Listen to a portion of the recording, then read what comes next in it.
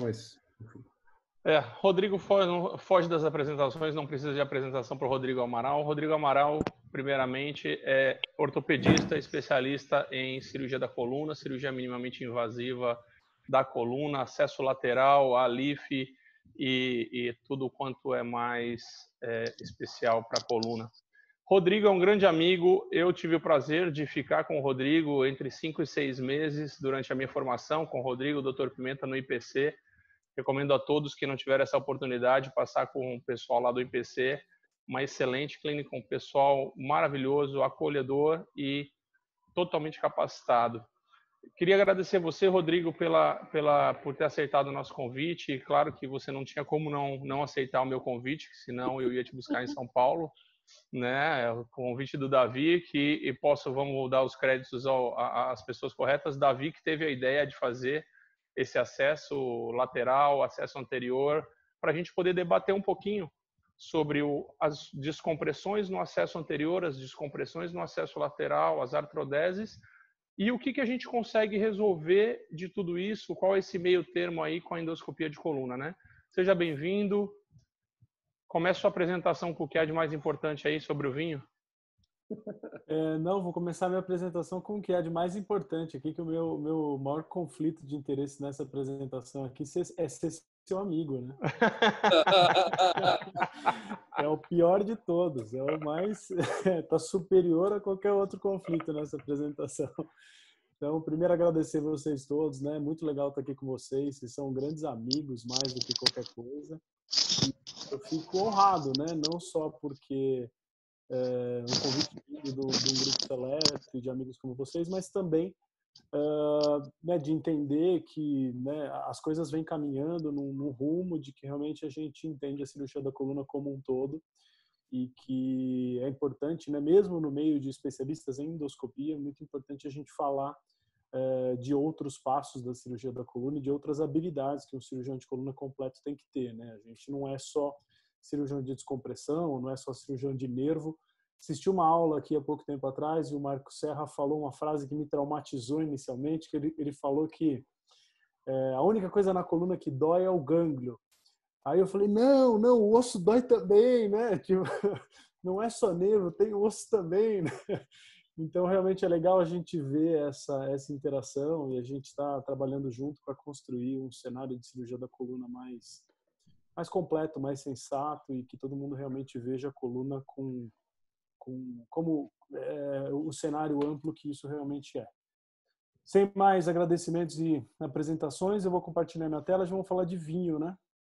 Que é o objetivo principal dessa reunião, pelo que eu entendi. Na verdade, o, o cenário científico é mais um pano de fundo.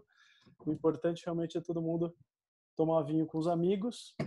E eu selecionei, né, num, uma homenagem especial aqui ao nosso amigo Facundo argentino, eu selecionei um vinho argentino é, para essa noite. A minha escolha foi pelo vinho Pulenta, da vinícola Pulenta, que fica em Mendoza, mais especificamente numa região ali chamada Vale do Uco. Uh, e o Vale do Uco é bastante famoso, talvez uma das minhas preferidas regiões é, da Argentina. Uh, tem algumas outras vinícolas famosas lá, a Bramari, se não me engano, é de lá, né? A Vinha Cobos, do, do Bramari é de lá. Uh, e o Pulenta também, apesar de ser uma vinícola relativamente jovem para a região, ela vem de uma família de produtores italianos aí de mais de 100 anos. E eles realmente, com um relativo pouco tempo na região, conseguiram chegar a um vinho bem, bem sofisticado, assim, um vinho de bastante complexidade, é um vinho aí, esse especificamente que eu estou tomando, um Safra 2014, esse que eu coloquei a apresentação aí é um 2016, mas é um vinho de 15% de álcool, uh, tem um corpo bem grande, é um vinho uh, é, com notas aí no paladar de, de carvalho, né? ele passa em 18 meses por carvalho, é, primeira passagem em barricas de carvalho é, francês, e ele tem a característica que para mim me, me, me, agrada bastante, que é essa questão do, das frutas vermelhas, frutas pretas, né? É, e, esse, sabor é, chocolate baunilha. É um vinho bem sofisticado para aqueles que conhecem, assim, um, é um, realmente é uma experiência muito boa. e ele vai bem aí com, com carnes, vai bem com aves de é, caça e também vai bem com cordeiro. Esse é o nosso parceiro da noite de hoje. Um brinde a todos. Saúde, meu querido. Então, né, o que eu acabei de falar é a verdade de todas, né? Eu, esses são os meus disclosures, os meus conflitos nessa aula, mas o meu maior conflito talvez seja ser amigo do Marco. eu não sei se vocês perceberam, mas ele está com a mesma camisa. Ou não, dia. aquela era cinza chumbo. Nesse dia que a gente saiu em Natal, numa das visitas que eu fiz a Natal, a gente foi operar um ex-lift, acho que nesse dia. Foi. E depois desse dia aí, a gente saiu com esse colega. É o anestesista, esse colega que tá é o, é o meu ex-anestesista, exato. É, então, e esse colega saiu com a gente aí para. O meu ex, né? É, meu ex, é meu ex, é Jesus, parecia Jesus Cristo aqui. Porque, porque afinal de contas, tomar vinho em Natal não é uma tarefa fácil, né? Então a gente tomou cerveja nessa noite aí. Talvez no apartamento fechado seja mais fácil, mas no ambiente ar livre realmente é, é pesado.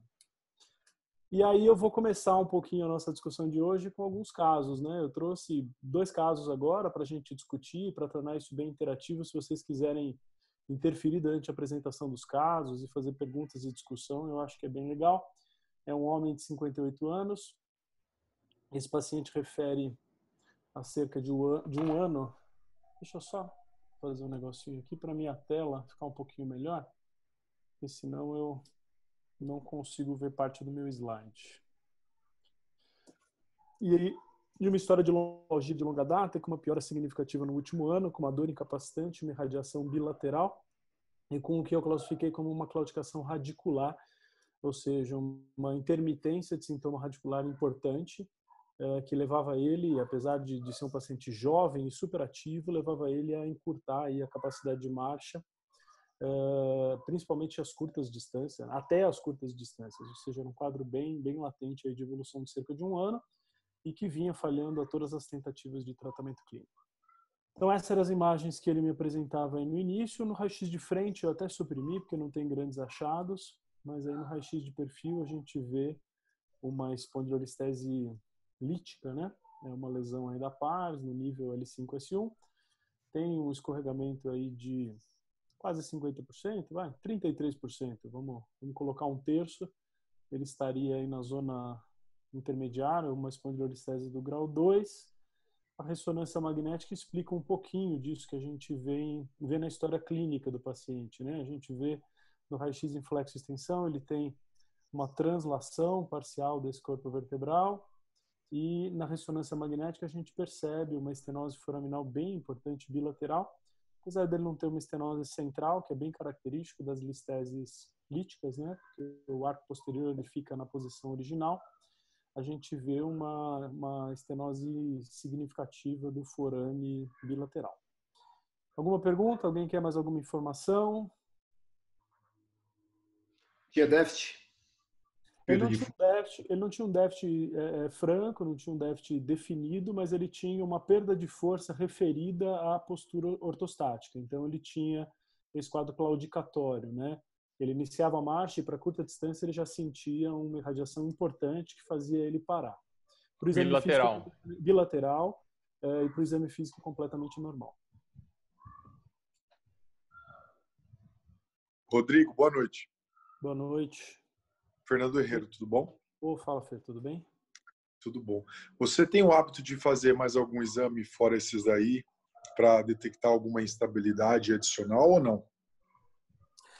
Uh, não, para casos como esse, não. Eu, às vezes, até acho que, é, em determinados casos, a, o raio-x com o paciente deitado é, é importante. Você consegue uma posição em que, às vezes, no flexo extensão, você não consegue simular, porque o paciente tem muita dor para fazer o flexo extensão em determinados momentos, e às vezes você subjuga essa, essa mobilidade. Mas a ressonância ajuda bastante isso, né?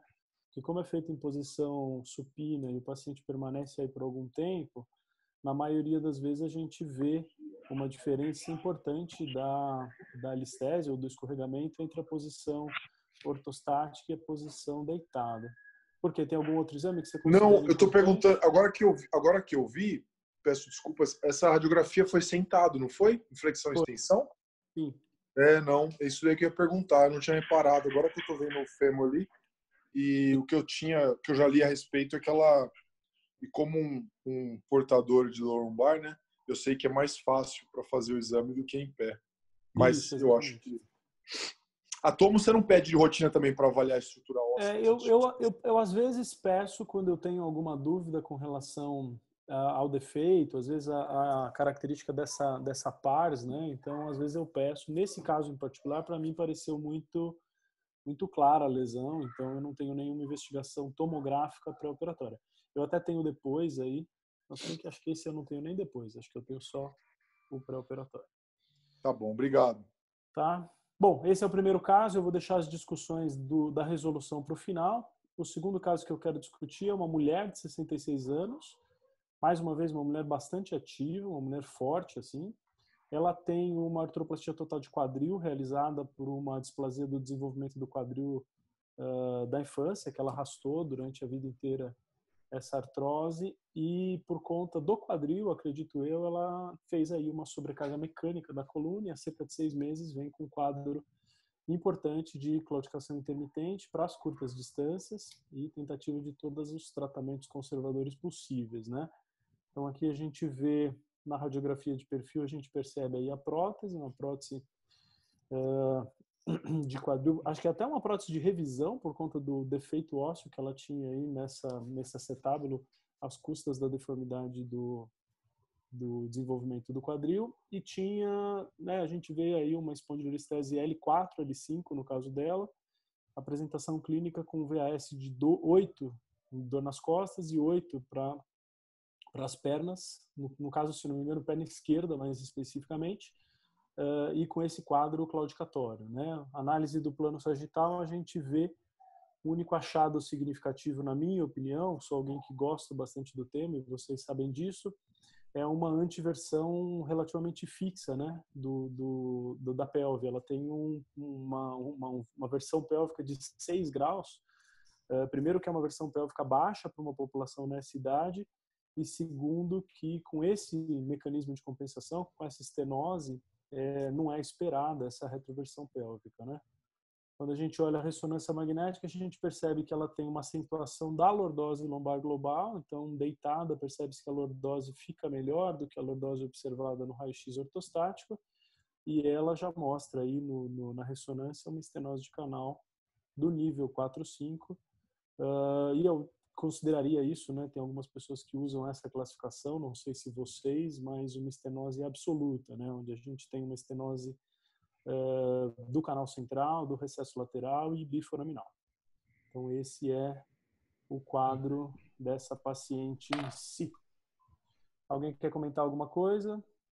Quem quiser fazer, é uma coisa que eu ia falar, quem quiser fazer, são muitas pessoas, nós estamos em 76 pessoas, quem quiser fazer algum comentário, alguma alguma pergunta, a gente pode até fazer, Rodrigão.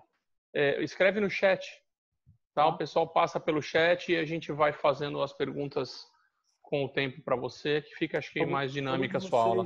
Algum de vocês da, do, do, da plenária aí, do, do da, da, organização, tem alguma dúvida com relação ao caso? Gostaria de mais alguma informação ou podemos seguir com a aula? Não, pode seguir. Perfeito. Bom, então vou apresentar para vocês talvez uma das melhores três invenções do século XX, final do século XX, início do século XXI na cirurgia da coluna, principalmente na área de minimamente invasiva. Para vocês talvez isso possa soar provocativo, estranho, mas eleita pelos cirurgiões de coluna uma das melhores invenções de é, do século XX, um tubo. É, essa é talvez uma das maiores invenções da cirugía da columna minimamente invasiva. No, esto, esto es ofensivo, esto es ofensivo. Alguien que lo saque, alguien que lo saque. Já já está. É, a maioria dos cirurgiões de coluna, quando perguntado o que, que realmente mudou a prática deles nos últimos anos, eles referem que foi um tubo, é, foi o BMP, principalmente no cirurgião americano, e foi as técnicas de acesso anterior e lateral. Então, gostaria dessa aula de tentar compilar pelo menos duas é, desses, dessas três respostas, né? A gente vai ficar falhando no BMP, porque realmente não é uma realidade no Brasil, mas pelo menos quando a gente fala em descompressões e quando a gente fala em artrodeses, eu acho que a gente está bem coberto e é importante que todo mundo é, tenha o, completo, o completo entendimento da utilização desses, desses recursos, né? Ô Rodrigo, só te cortando, é, essa pesquisa foi feita nos Estados Unidos, né? Sim. Ah, então tá certo, pode continuar. Bom, é, no passado eu, eu, era, eu era exatamente assim, né? Eu e a cirurgia endoscópica da coluna, a gente tinha essa relação, né? Ela me perguntava, você me despreza? E eu respondia, puxa, se eu pensasse em você, eu certamente te desprezaria. Mas as coisas. Essa, essa é uma cena clássica do filme Casablanca, né? Para aqueles que, que nunca assistiram, é um convite. É um filme bem antigo, mas é um filme bem interessante. É, talvez o Ricardo Ferreira, que está escutando a gente aí, tenha assistido ele no cinema, né, Ricardão? Óbvio! é um clássico. A última cena, ela diz, ainda, ele diz, ainda nos resta Paris. Ainda nos resta Paris, exatamente. E, e esse, essa, essa, esse era eu com relação à cirurgia endoscópica da coluna no passado. E o Marcos sabe bem disso. Ele rodou com a gente numa época em que eu absolutamente ignorava né, a cirurgia endoscópica, até por conta de toda a relação com a cirurgia descompressiva tubular que eu tive desde o início da minha carreira, por influência é, do meu pai.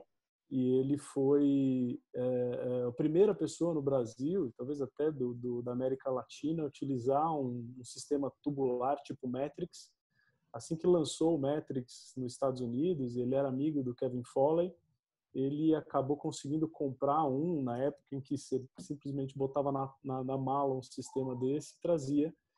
E ele teve uma experiência grande com isso e influenciou, de certa forma, toda a nossa forma de ver a cirurgia descompressiva da coluna lombar, né? através de um portal tubular. E a partir daí a gente começou a fazer tudo que a gente ainda faz até hoje. Mas nos últimos anos eu confesso que eu tenho cedido um pouco, né? Então tá aqui eu e o Dr. Marco Moscatelli fazendo uma endoscopia. Uh, foi a minha primeira endoscopia de coluna e ele me acompanhou. E agora eu costumo dizer que não creio nas bruxas, mas pelo que lasai, lasai. Então ainda eu ainda acho que a gente tem que evoluir bastante com relação à evidência científica, né? A endoscopia mostra hoje para a gente realmente vários estudos que, que demonstram não inferioridade com relação às técnicas é, é, descompressivas tubular, mas eu acho que realmente ainda é uma questão de preferência, de experiência do cirurgião, de curva de treinamento. É, eu acho que tem vários aspectos que envolvem o cenário socioeconômico do, da região que você está inserido. Então, ela é uma solução bastante elegante na mão de pessoas como vocês, né, que são mestres nisso, realmente eu acho que tem resultados fantásticos, mas não é, é uma realidade universal, como tudo, né? Como qualquer outra técnica cirúrgica na mão do mestre, ela sempre tende a ter um resultado melhor do que na mão do, do, do todo. Rodrigo, é você que está ensinando Moscatelli aqui, né? Porque do jeito que você está segurando o endoscópio aqui, cara, você é o professor, ele é o aluno, hein? essa, essa é a primeira vez que eu fiz uma endoscopia e eu tive que ouvir dele, poxa, cara, depois de 10 anos fazendo endoscopia, você foi o primeiro que soube fazer isso sozinho. É, cara, mas é, na realidade é a seguinte, né? Quando o professor é bom, o aluno aprende rápido, não adianta. Entendeu? Então, na realidade, foi só alguns toques durante os anos aí te falando. E aí, cara, quando você viu, você fez. Foi, foi tranquilo, foi tranquilo. E eu quis realmente fazer para entender qual que era a diferença. Eu acho que, na verdade, o treinamento em cirurgia tubular, que é o que eu venho fazendo durante toda a minha vida, ele me dá esse entendimento de, de tridimensionalidade anatômico, que é pré-requisito para a cirurgia endoscópica. Né? Então, eu acho que, na verdade, a gente pode, pode dividir essas etapas em um processo mesmo. Né? Você sair da cirurgia aberta, convencional, linha média, Taylor ali atrás da faceta e partir para endoscopia é um desafio grande. Mas quando você já vem da sua formação em uma cirurgia em que o nosso acesso é restrito, é localizado no, no, local da patologia e você simplesmente muda a forma de visualizar isso, né, que é, é sair da visão é, tridimensional direta para a visão binocular do endoscópio, eu acho que a adaptação é mais fácil. Então, sem, sem, sem preciosismo, eu acho que realmente o que é, facilitou e facilita para mim para entendimento da endoscopia é realmente a visão prévia do, da descompressão tubular. Mas o ponto em si da nossa aula é com, é com relação à fusão, né? Então, to fuse or not to fuse, né? A questão aqui é quando a gente vai fusionar, e aí a gente sai um pouquinho das questões relacionadas à é, endoscopia, né? Eu acho que existem sim ainda algumas é, técnicas endoscópicas de fusão, e eu ouvi recentemente o Davi falar que não é um fã, eu também particularmente não sou um fã, eu acho que fusão com qualidade a gente tem que respeitar alguns princípios que são básicos, que são uh, restauração do alinhamento sagital, sim, é importante.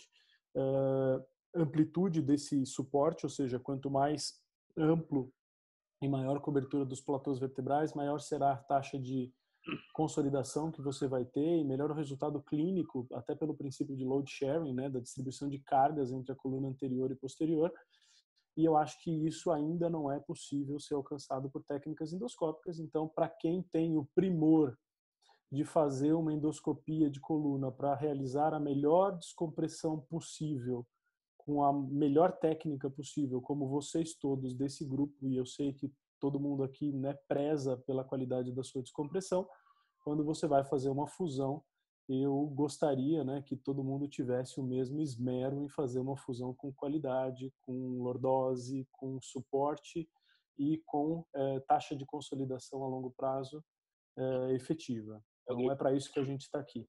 Rodrigo, acho que é uma questão de princípios, como você falou, né? Por mais que a gente faça endoscopia, a artrodese por endoscopia não é, não é uma realidade exatamente pelo princípio. Os queijos são muito pequenos, cara. Então, você não vai ter superfície de contato adequada para fazer uma artrodese. Então, se, se, o princípio da opção técnica já está errado, a gente acaba cometendo o erro na sequência, entendeu? Eu acho que Exatamente. hoje, eu fiquei...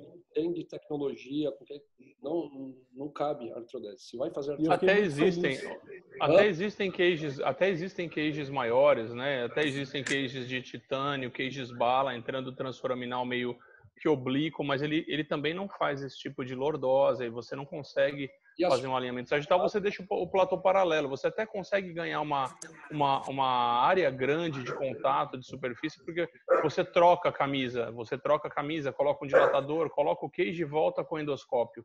Ele não é full endoscópico, ele é só endoscópico. Você faz a descompressão via endoscópica, coloca o cage e volta com o endoscópio só para ver onde está posicionado, se está bem posicionado. E, e, realmente até hoje não. É. Não, e do ponto, de vista, do ponto de vista filosófico, acho que realmente é isso, né? Para quem tem a, qualidade, a, o esmero e, e, a, e, a, dedicação em fazer a melhor descompressão possível, porque preza pela melhor cirurgia possível, realmente é uma vergonha a gente pensar que às vezes quando tem que fazer uma artrodese faz um plife aberto, uh, reto, com né, sem, sem cuidado nenhum, tanto com a musculatura quanto com os princípios básicos de fusão. Então, acho que é essa integração de mundos, né, que é sair da descompressão, e aí realmente eu acho que vocês têm muito mais know-how do que eu para falar em endoscopia e tudo mais, e, e partir para a artrodese. Né? Então, esse, esse é o, o, ponto que eu queria trazer. Talvez o principal é, é, é, a, o ponto de dúvida, talvez, seja a definição de instabilidade. Eu acho que essa é a pergunta de alguns milhões de dólares dentro da cirurgia da coluna e que eu me propus a trazer aqui uma tentativa de resolução e falhei, né? Então, quando a gente faz a comparação aqui em descompressão versus não descompressão, você percebe que é um tema muito polêmico, né? Quando a gente entra nesse assunto, você vai ver revisões sistemáticas, meta-análises, estudos de alta qualidade técnica até, em que a, a, a, o desfecho realmente não é um desfecho muito controverso. Né? Então, você vê estudos, por exemplo, analisando espondilolistese, é, como meta-análise, você vê uma maior taxa de dor na perna, é, desculpa, menor taxa de dor na perna com relação à fusão, em relação às descompressões isoladas, é, e maior satisfação do paciente. Ou seja, o desfecho clínico é muito parecido, né? exceto um ou outro ponto. Quando a gente vai, por exemplo, para um outro estudo, né, esse estudo aqui com 15 pacientes, a gente percebe que a descompressão sozinha ela é menos mórbida do que a descompressão com artrodese. E os resultados clínicos parecem ser bem favoráveis. Então, assim, não existe muito uma, uma definição de qual é o caminho correto a se seguir. Eu acho que a gente precisa, mais uma vez, como em quase tudo na vida, usar bom senso uh, e usar a nossa experiência pessoal uh, para tentar definir. Uh, o que, que eu trouxe, né? O que eu acho que é importante aqui do ponto de vista de algoritmo, né? Então, quando a gente tem um paciente com desalinhamento sagital, e isso eu acho que é princípio básico de entendimento de qualquer cirurgião de coluna, né? Seja ele adepto às descompressões, a endoscopia, a artrodese, a descompressão indireta, as deformidades, a gente precisa, de certa forma, compreender o que é o paciente normal, paciente alinhado normalmente, e entender quais dos problemas do desalinhamento sagital são problemas estruturais verdadeiros e quais são compensações eh, normais. Por exemplo, quadros eh, eh, compressivos da coluna podem levar a um falso desalinhamento sagital. É um falso desalinhamento sagital moderado, é um falso desalinhamento sagital sem uma retroversão pélvica, porque o paciente precisa daquela compensação. Então, é importante para todos nós entendermos qual que é a verdadeira deformidade sagital. Quando tem deformidade sagital, acho que não tem dúvida, a gente precisa restaurar isso e a principal ferramenta que a gente tem para restaurar esse tipo de deformidade é a fusão intersomática. Uh, dá para fazer isso por via posterior? Dá, sozinho. Uh, dá para fazer isso com fusão posterolateral? Eu já acho mais difícil, porque aí a gente tem que usar as osteotomias na maioria das vezes e a gente torna um procedimento relativamente simples e um procedimento muito maior de forma desnecessária, mas é, o fato é que com desalinhamento sagital, na minha opinião, a melhor opção é artrodese intersomática.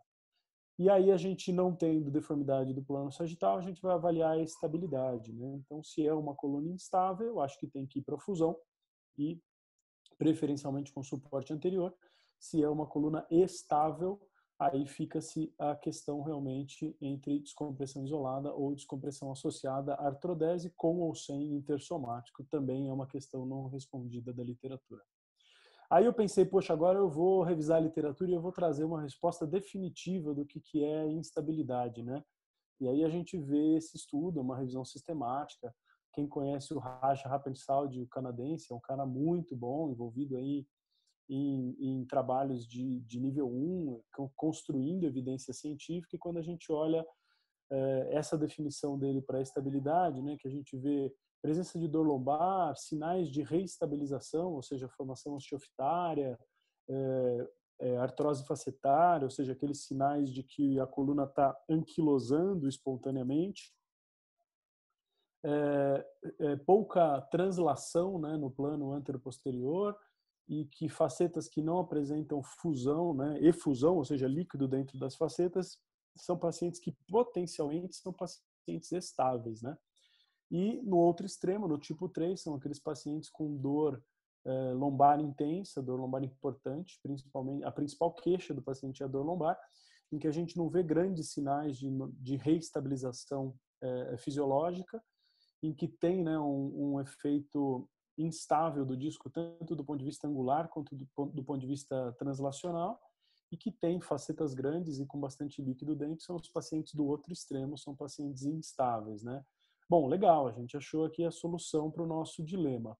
Vamos rodar então um questionário com cirurgiões de coluna, né? E aí a O propôs esse estudo, 226 cirurgiões de coluna experientes responderam esse questionário, e aí a gente percebe que a gente não tem consenso nenhum. Né? Quando a gente analisa os dados, a gente percebe que talvez é, o único fator que leva um pouquinho mais a uma tendência, vamos dizer assim, para é, fusão em detrimento às descompressões isoladas são translações maiores do que 4 milímetros, mas que se você perceber pelas barras aí, tanto no grupo descompressão isolada quanto no grupo descompressão associada à artrodese, existe uma miscelânea de critérios entre menor que 2, entre 2 e 4, maior que 4.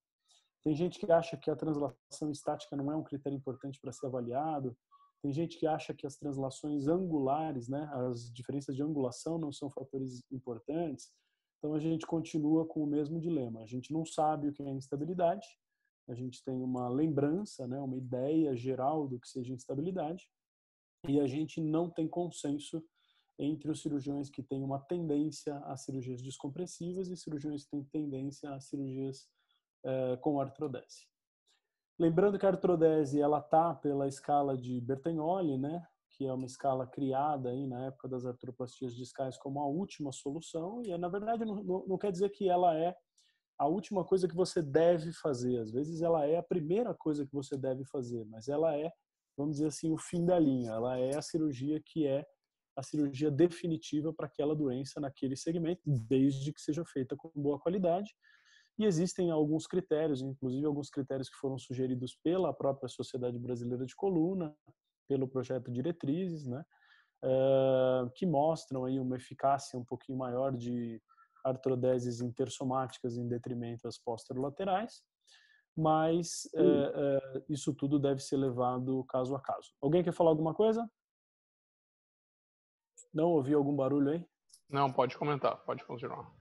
Bom, principais objetivos da fusão. Quando a gente fala fusão, a gente tem que falar em três grandes pilares, né? Então, na, normalmente uma, uma, uma doença, uma condição degenerativa vai ter as duas coisas. É raro a gente fazer artrodese da coluna para dor lombar pura. A gente sabe que essa talvez não seja a melhor indicação, mas quando a gente tem uma indicação formal de descompressão, é necessário que a sua seu procedimento inclua alguma técnica de descompressão dos elementos neurais. Uh, ao meu ver, manter o alinhamento sagital bom ou corrigir um alinhamento sagital ruim é fundamental. E, para como artrodese, né, é, promover a fusão, alcançar a fusão é alguma coisa obrigatória. Lembrando aqui que o, o, range of motion, né, o arco de movimento da coluna é um arco de movimento complexo, ela é uma articulação que tem movimento em vários planos e a composição desses planos né, muda o eixo gravitacional da coluna durante é, em posições diferentes, ou seja, a mesma solução não serve para todas as colunas. Existem colunas mais lordóticas, existem colunas menos lordóticas, existem colunas com maior ou com menor é, é, grau de, de, angulação e até flexibilidade, o que leva a necessidades específicas serem analisadas e entendidas. Outra coisa importante é a sustentação de carga, então o, o, a distribuição eu chamo de load sharing, né? o carregamento de cargas ele é importante. A gente percebe que em colunas degeneradas existe um predomínio do, da, da transmissão de carga para os elementos posteriores e quando a gente quer restaurar, vamos dizer assim, o alinhamento correto, é importante a gente restaurar a altura desse disco e restaurar a capacidade de carregamento de carga na coluna anterior. Com relação às técnicas intersomáticas, são várias técnicas, a gente pode entrar na coluna diversos, diversos caminhos, vamos dizer assim. Por ser uma estrutura central, a gente tem as técnicas posteriores e as técnicas anteriores, ou seja, que estão à frente dos elementos neurais. E dentre as técnicas anteriores, eu vou falar especificamente da técnica de acesso lateral, popularmente chamada de X-Leaf, e da técnica de acesso anterior, que é o tradicional ALIF. Né? Então, motivos para a gente fazer esse tipo de abordagem são esses, né? Além dos que a gente já falou, de certa forma, também preservar o dano da musculatura posterior, é, preservar toda a estrutura ligamentar da coluna, que é importante não só para o resultado uh, radiográfico, mas também para o resultado clínico desses indivíduos. Com relação à cobertura, né, a gente falou um pouquinho é, da, da, das técnicas endoscópicas e realmente o que elas falham, ao meu ver, é isso. Né? A gente não tem acesso, através de uma punção ou de uma, de uma técnica percutânea, a colocação de, de, de cages, né, de grafts, que sejam grandes o suficiente para se apoiarem nesse osso de boa qualidade, que é o osso cortical. Então, o osso é, peripedicular e os osso, o, o osso da apófise cortical, que envolve é, o elemento vertebral como um todo. E eu acho que as melhores técnicas é, de fusão da coluna certamente são aquelas que contam com o apoio do osso cortical. O outro princípio que é importante a gente entender é o princípio da descompressão indireta. Não é nada novo, a gente usa o princípio da descompressão indireta na coluna há muitos anos, principalmente para a coluna cervical. É super comum a gente ter uma radiculopatia cervical, em que às vezes um ACDF, né, a gente ganha um pouquinho de altura do uncus e a gente promove uma descompressão da raiz mas essa é uma realidade às vezes meio questionada quando a gente fala em cirurgia da coluna por via lateral e às vezes anterior, porque o princípio talvez não seja muito bem entendido, né? O princípio é o princípio da ligamentotaxia, então a gente precisa ter tanto o ligamento longitudinal posterior, quanto as cápsulas articulares, quanto é, o, o ligamento amarelo retencionado para que a gente promova a descompressão indireta. E aí a literatura está vasta né, com relação a isso. O nosso grupo mesmo publicou em 2009 o primeiro estudo, 2010 o primeiro estudo com relação à descompressão indireta através da técnica de X-Leaf, e aí vários outros estudos comprovam tanto as alterações radiográficas que demonstram a descompressão dos elementos neurais é, por abordagens indiretas, quanto uh, a evolução clínica desses pacientes. Então, é um princípio que eu acho que todo mundo tem que, que realmente conhecer e tem que aplicar no seu dia a dia, porque ele te evita um monte de dor de cabeça, um monte de problema uh, em não abrir mais o canal ou abrir o canal em, em, em momentos muito selecionados, né? tanto com relação às ditas fibroses, quanto com relação aos problemas relacionados à manipulação direta do canal vertebral. Uh, aqui um exemplo de descompressão direta de um paciente nosso, um ex-LIF com dois anos de pós-operatório, em que a gente vê uma estenose brutal do canal no pré-operatório, absoluta, tanto central quanto uh, dos recessos e, forames. E aí depois de um ex-LIF com fixação percutânea, a gente vê uma descompressão significativa e um paciente com score de dor na perna e dor nas costas, que mostra um sucesso absoluto da descompressão e da artrodese. Mas ela não é uma técnica que funciona para todo mundo, a gente precisa ter critério, mais uma vez, para indicar, e aí realmente as estenoses congênitas, as facetas que são bloqueadas e que não permitem o deslizamento, né? É um princípio que depende da ligamento taxia, então se não permitir deslizamento dessa coluna para a posição anatômica, realmente não vai ter a descompressão direta. E condições né, de compressão direta do canal, como cistos sinoviais, osteofitoses, como essas que vocês veem aí nas imagens que levam a um estreitamento das estruturas ósseas, ou ainda, às vezes, a colocação de cages, né, na tentativa de colocar uma descompressão indireta efetiva, cages que são underside, é, subdimensionados, ou seja, cages pequenos que não se apoiam no osso cortical, ou seja, não promovem a distração efetiva do corpo vertebral, ou que eventualmente realmente afundem dentro do espaço uh, intercorpóreo e aí pelo, pela subsidência, né, subsidiência, promovem uma reestenose do canal. Então, essas são as contraindicações de forma geral. Uh, e a cirurgia por via anterior, né? Então, de, em resumo geral, né, do ponto de vista de é, é, biomecânica, quando a gente analisa a, a, característica biomecânica tanto das cirurgias o ALIF quanto as cirurgias laterais, a gente percebe que, do ponto de vista de biomecânica, em, em todos os arcos de movimento analisados, esses cages eles têm realmente uma estrutura de sustentação muito melhor do que os por via posterior. E outra coisa que é significativa é com relação ao ganho de lordose. Né? Quando a gente analisa um ALIF, um X-LIF e os T-LIFs, existe uma uh, significância estatística entre a qualidade da lordose que se ganha com as técnicas anteriores do que com as técnicas posteriores. Interessante observar aqui no gráfico 2, né, na tabela número B, em que o X-LIF ganha maior lordose do uh, da lordose lombar global, né? E, na verdade, isso se explica não por conta da maior angulação segmentar, que é o que a gente vê com a LIF, né? Mas porque os X-Livs eles são feitos em níveis mais altos e aí por mudarem, vamos dizer assim, o ápice da, da lordose lombar em segmentos mais craniais, ele melhora uh, a lordose do segmento como um todo. Mas quando a gente faz a comparação dos aspectos clínicos em si, é importante a gente dar uma olhada é, na capacidade né, desse tipo de técnica. Então, quando a gente compara essas técnicas de abordagem anterior com as posteriores de readmissão com 30 dias, a gente percebe que elas têm capacidade de reduzir sangramento, de reduzir infecções associadas ao procedimento, de, de reduzir trombose e de reduzir a morbidade geral dos quadros. E quando a gente faz uma análise da é, das técnicas anteriores em si aplicadas a doenças degenerativas e a doenças é, e a deformidades, né? A gente percebe que tem primeiro duas coisas, né? Então é, não dá para a gente comparar bananas com laranjas, né? Como o americano diz. Uma coisa é ex-leaf tradicional, está aqui embaixo na penúltima linha, e a outra coisa são o que a gente chama de ex-leaf-like, né? Ou seja, todas aquelas outras técnicas de acesso lateral que simulam a ideia, mas que não respeitam todos os princípios. Percebe que eu assinalei aí em vermelho algumas diferenças com relação aos resultados, né? A gente tem para doenças degenerativas resultados bem diferentes quando a gente compara as duas técnicas laterais, né? Ou seja, não é só uh, uh, o nome que importa, é como você realiza isso no seu passo a passo. Mas a gente está falando aí de um tempo médio de cirurgia de 113 minutos, com sangramento médio de 78 ml, um dia, um, um dia de internação hospitalar, com uma taxa de fraqueza temporária do quadril de 14% e uma taxa de déficits reais motores na casa aí de 1%.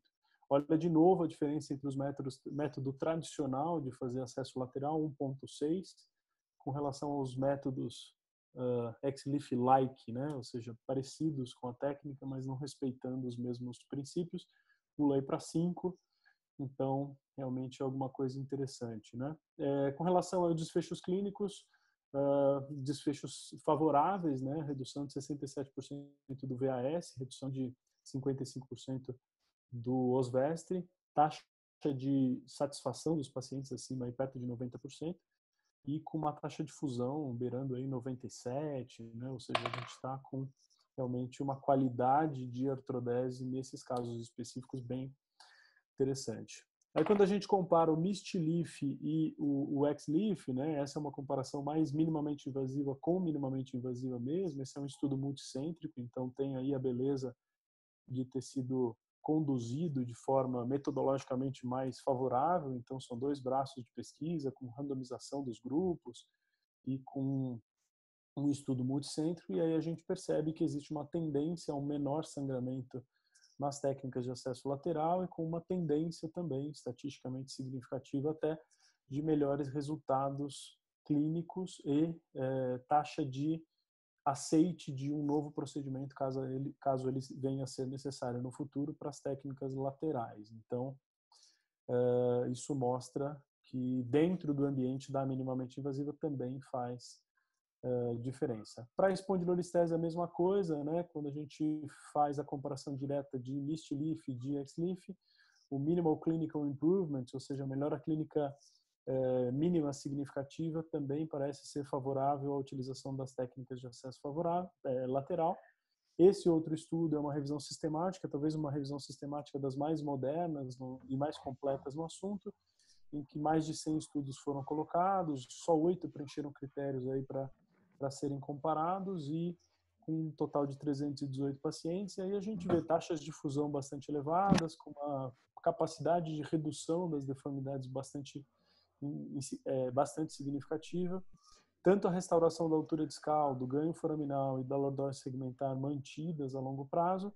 E o que eu gosto dessa revisão sistemática é aquela velha pergunta que todo mundo me fala, pô, e aí os déficits neurológicos? Poxa, os déficits neurológicos eles realmente podem existir, mas na revisão sistemática analisada percebe-se que 0% desses déficits persistiram, ou seja, eles são é, decorrentes muito mais de uma de uma travessia de pessoas, vamos dizer assim, é, neuropráxica, do que propriamente é uma lesão direta do gânglio ou do, do da raiz. Uh, com relação à LIF, mesma coisa, né? Com, com a LIF aplicado às doenças degenerativas, então a taxa de complicação bem baixa, 6%. Quando a gente analisa especificamente a espondilolistese, o ALIF chega a uma taxa total de complicação de 10%.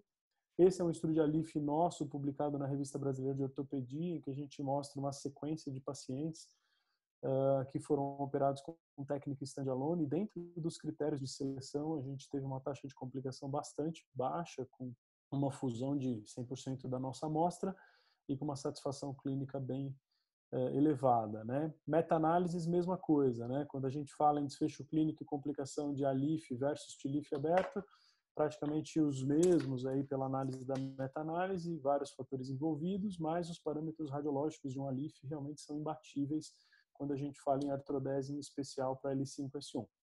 E agora, finalizando a minha aula, eu queria voltar para a discussão dos casos. Uh, se vocês quiserem de novo participar dessa discussão, eu vou abrir aqui para a gente bater um pouco de papo. Eu trouxe de novo aquele primeiro caso, é uma espondilolistese L5S1 com uma estenose biforaminal, uma claudicação radicular.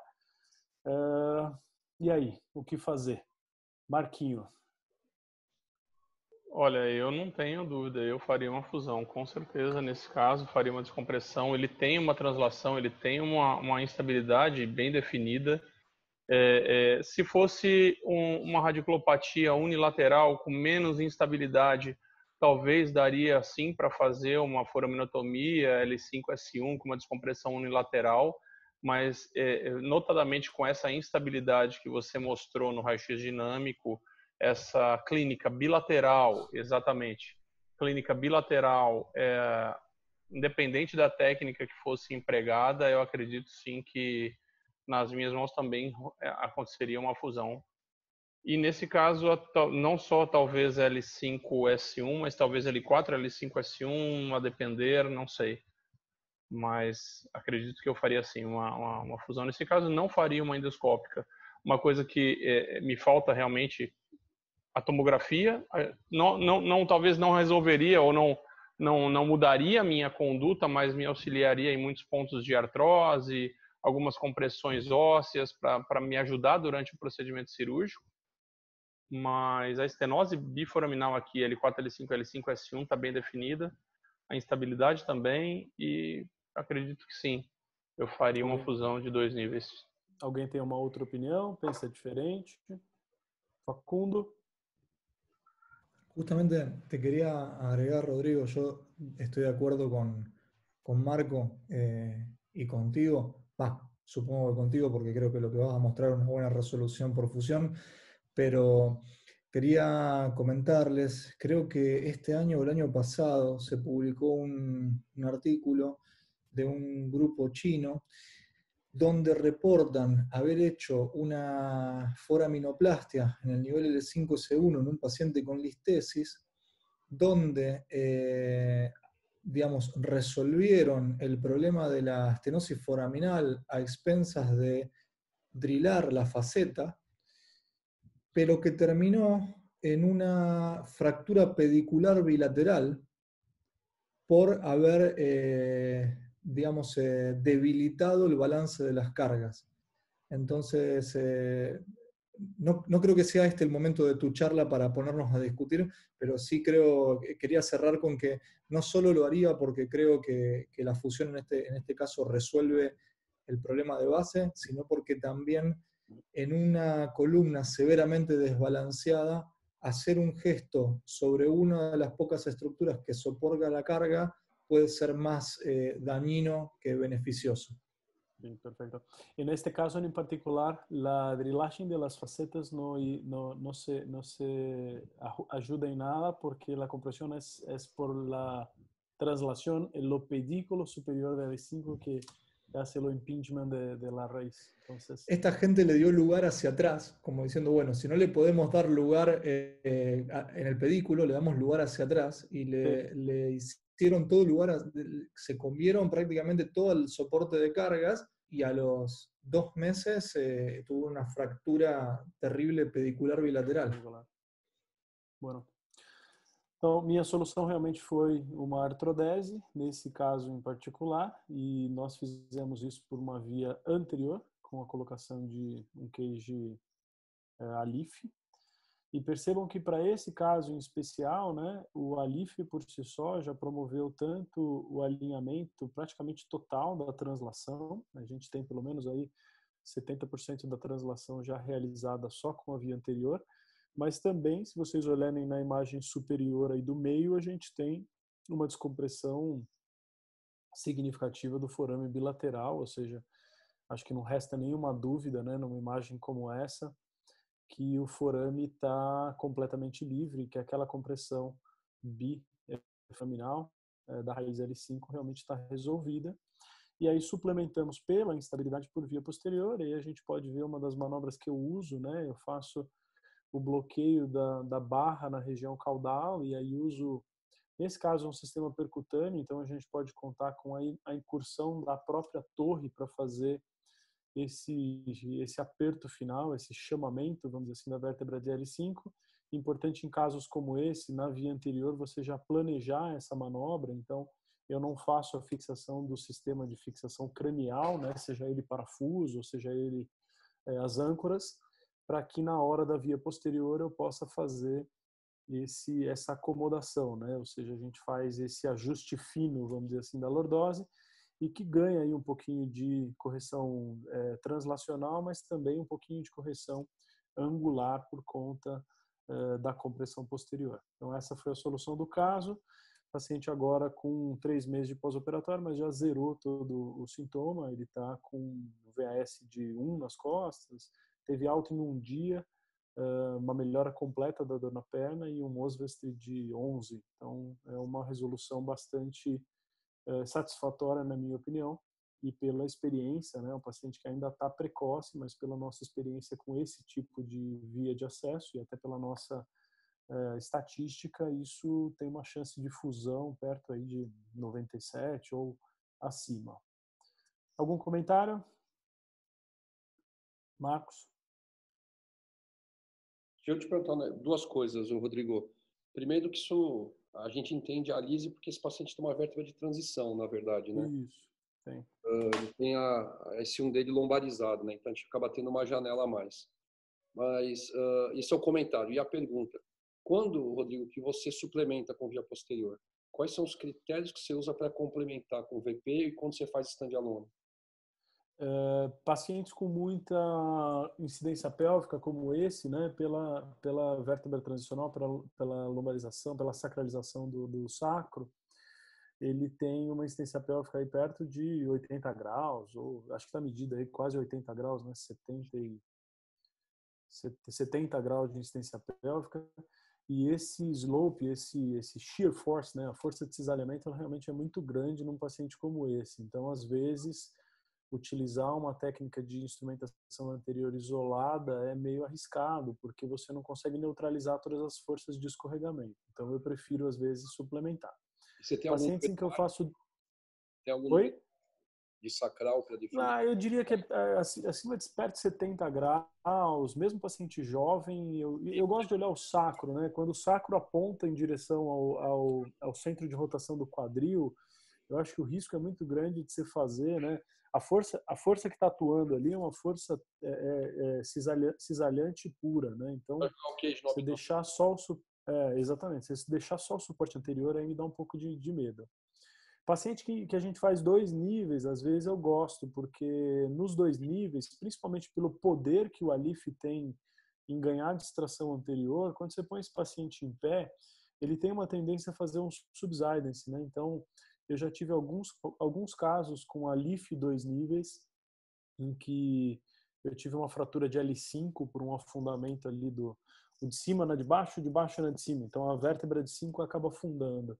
Então, eu às vezes gosto de suplementar, ou pacientes muito idosos e que aí você tenha dúvida é, da qualidade do osso mesmo, e aí eu colocaria acima de 65 anos. Tem gente que fala 60, mas eu, eu acho que a qualidade do paciente depende mais do que a idade biológica.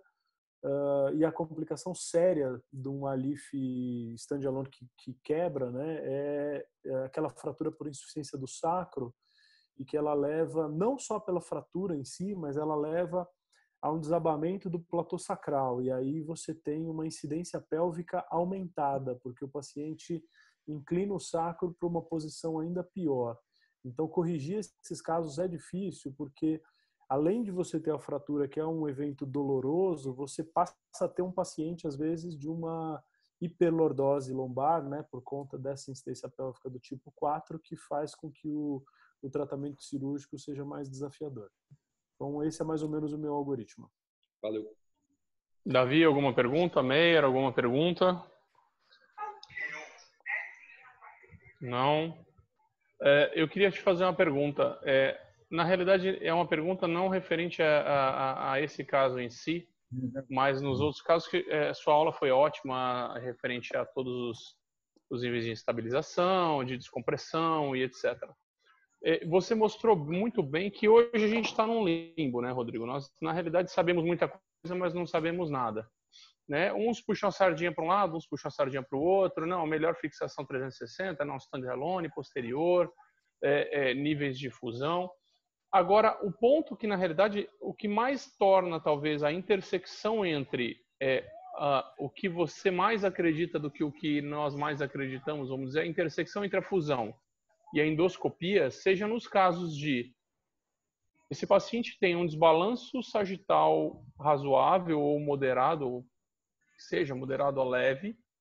Esse paciente tem uma, uma listese grau 1 ou até uma listese grau 2, em que. Prefere é, esse caso? Exatamente, exatamente. Mas esse caso você mostrou uma, uma, uma instabilidade até mais é, é, importante, mas esse é, é, o caso que mais vai chamar mais atenção. Por isso que eu estou dando uma pimentada antes para você discutir o seu caso e a gente voltar. Em que existe a listese, existe a instabilidade, mas até que ponto essa, essa dor desse paciente ele é uma claudicação, uma ciática, uma lombalgia e até que ponto nós conseguiríamos resolver só com endoscopia, fazendo uma descompressão, ou se realmente esse paciente teria necessidade de uma fusão e um rebalanço dessa coluna. Porque vários pacientes, claro, eu não vim de uma escola de balanço sagital, de ortopedia, de deformidade como você, e vários neurocirurgiões do grupo não vêm dessas escolas, né? E a gente não aprende isso em, em residência e sim na vida mas que os nossos resultados são muito bons, até que comparativamente aos, aos de, de rebalanço de coluna, apenas com descompressões. Então é isso que eu queria perguntar para você, porque eu faço meu, a minha, os meus cálculos, eu consigo fazer um balanço em que eu ponho meu paciente na mesa e eu não consigo mais ter esses parâmetros. Eu consigo ter parâmetro de angulação, tamanho de cage, mas que na hora, muitas vezes, até a gente discutiu isso em, em cirurgia uma vez, em que você calcula, beleza, eu preciso de, de, colocar um pouco de 30 graus de lordose. E na hora a gente não consegue esses 30 graus de lordose. E que apenas com uma descompressão sem fixação a gente resolveria esse caso. o que, que, você me diz? Primeiro, primeiro, eu discordo de você quando você fala que hoje. Eu sei disso, por isso eu te perguntei. Não, mas não é esse ponto. Hoje nós vivemos no limbo e que a gente não sabe nada. Na verdade, isso sempre foi e sempre vai ser assim, né? Exato. Tudo sei é que nada sei, né? Então, quanto mais a gente avança, mais dúvida a gente tem.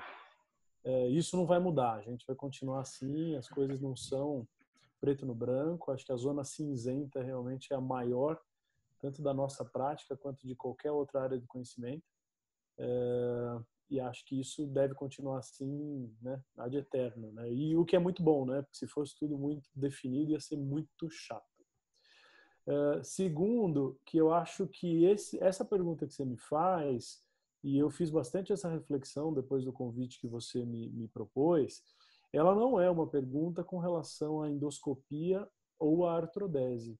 Exatamente, Porque, ao meu ver, exatamente, ao meu ver, eu faço isso há muito tempo e faço de uma forma ligeiramente diferente, né, que é a utilização das descompressões tubulares. Uh, o grande desafio para a gente é definir qual é a paciente que se dá bem com uma descompressão isolada ou com uma, a descompressão associada a uma artrodese, seja ela via tubular, seja ela via endoscópica. Eu vou tirar a descompressão aberta, porque eu acho que a descompressão aberta, sim, quando bem indicada, ela tem um avanço muito grande, mas acho que no mundo hoje a gente tem uma consciência e uma evidência de que eh, as técnicas menos invasivas de descompressão são superiores às descompressões formais, abertas, aquela que todo mundo aprendeu, linha média, né? abre os dois lados, põe o tailor lá atrás da faceta. Eu acho que aquilo é uma, é uma coisa que a gente já não precisa mais fazer na grande maioria do, do, dos lugares. Mas, assim, a definição entre descompressão isolada e artrodese é uma zona cinzenta que eu realmente eu não tenho essa resposta, né? Eu queria ter essa resposta porque uh, isso me valeria muito dinheiro, né? Provavelmente, além de, de satisfação. Mas é uma, é uma zona de, de intersecção entre duas filosofias que eu acho que a gente não vai conseguir chegar a uma solução aqui. O que eu particularmente acredito, né? Eu acredito muito no alinhamento sagital, não só como é, problema, como solução do problema. Eu acredito muito nas alterações do alinhamento sagital, do, do plano sagital, como às vezes as causadoras dos problemas. Ou seja, eu olho um paciente, batendo o olho na coluna do cara, eu entendo que esse é um paciente com uma coluna mais retificada, porque ele é do tipo 1 ou do tipo 2, e que pacientes desse tipo têm um predomínio de doenças discais, em que o canal, no geral, é um canal né, mais fácil de tratar com alongamento da coluna anterior. Quando eu olho um paciente que tem uma hiperneurose... Não tem problema. E que a gente tem... Limpei. Uma, e que a gente tem uma compressão causada predominante né, pela hipertrofia facetária, ou por um, por um espessamento né, de ligamento amarelo, eu tenho a certeza de que vai ser um paciente em que o tratamento com artrodese, principalmente se a gente utilizar a via anterior, vai ser muito mais difícil. Então, para mim, no geral, é um candidato a uma descompressão isolada maior. Quando eu pego um paciente com uma deformidade grosseira, né, às vezes uma, uma escoliose degenerativa de múltiplos níveis e que a queixa principal é uma monorradiculopatia, para mim não faz sentido nenhum tratar a escoliose degenerativa do paciente com T10 a pelve, osteotomia, subtração de L3, se eu posso fazer uma microdescompressão tubular, às vezes de uma raiz, e o paciente sair maravilhosamente bem. E tem um outro ponto que você tocou, é, é, que você é, mencionou, que para mim é importante, é o entendimento, né? E essa paciente é uma paciente que tem muito disso, né? Eu não sei se por conta da doença do quadril ou se por conta da estenose do canal, você percebe que ela tem uma retificação dos segmentos e ela usa alguns mecanismos de compensação, como por exemplo a hiperlordose dos segmentos adjacentes, uma retificação da coluna torácica, mas ela não usa a retroversão da pelve. E isso para mim é um, é um achado que eu, que, eu, que eu prezo, porque a retroversão da pelve é muito fácil de ser feita. E aí, quando você olha uma deformidade como essa e que o paciente não fez a simples retroversão pélvica, ou seja, a contração glútea, para mim alguma coisa está acontecendo. Esse paciente tem ou uma compressão neural grave e ele precisa desse efeito para conseguir ficar em pé.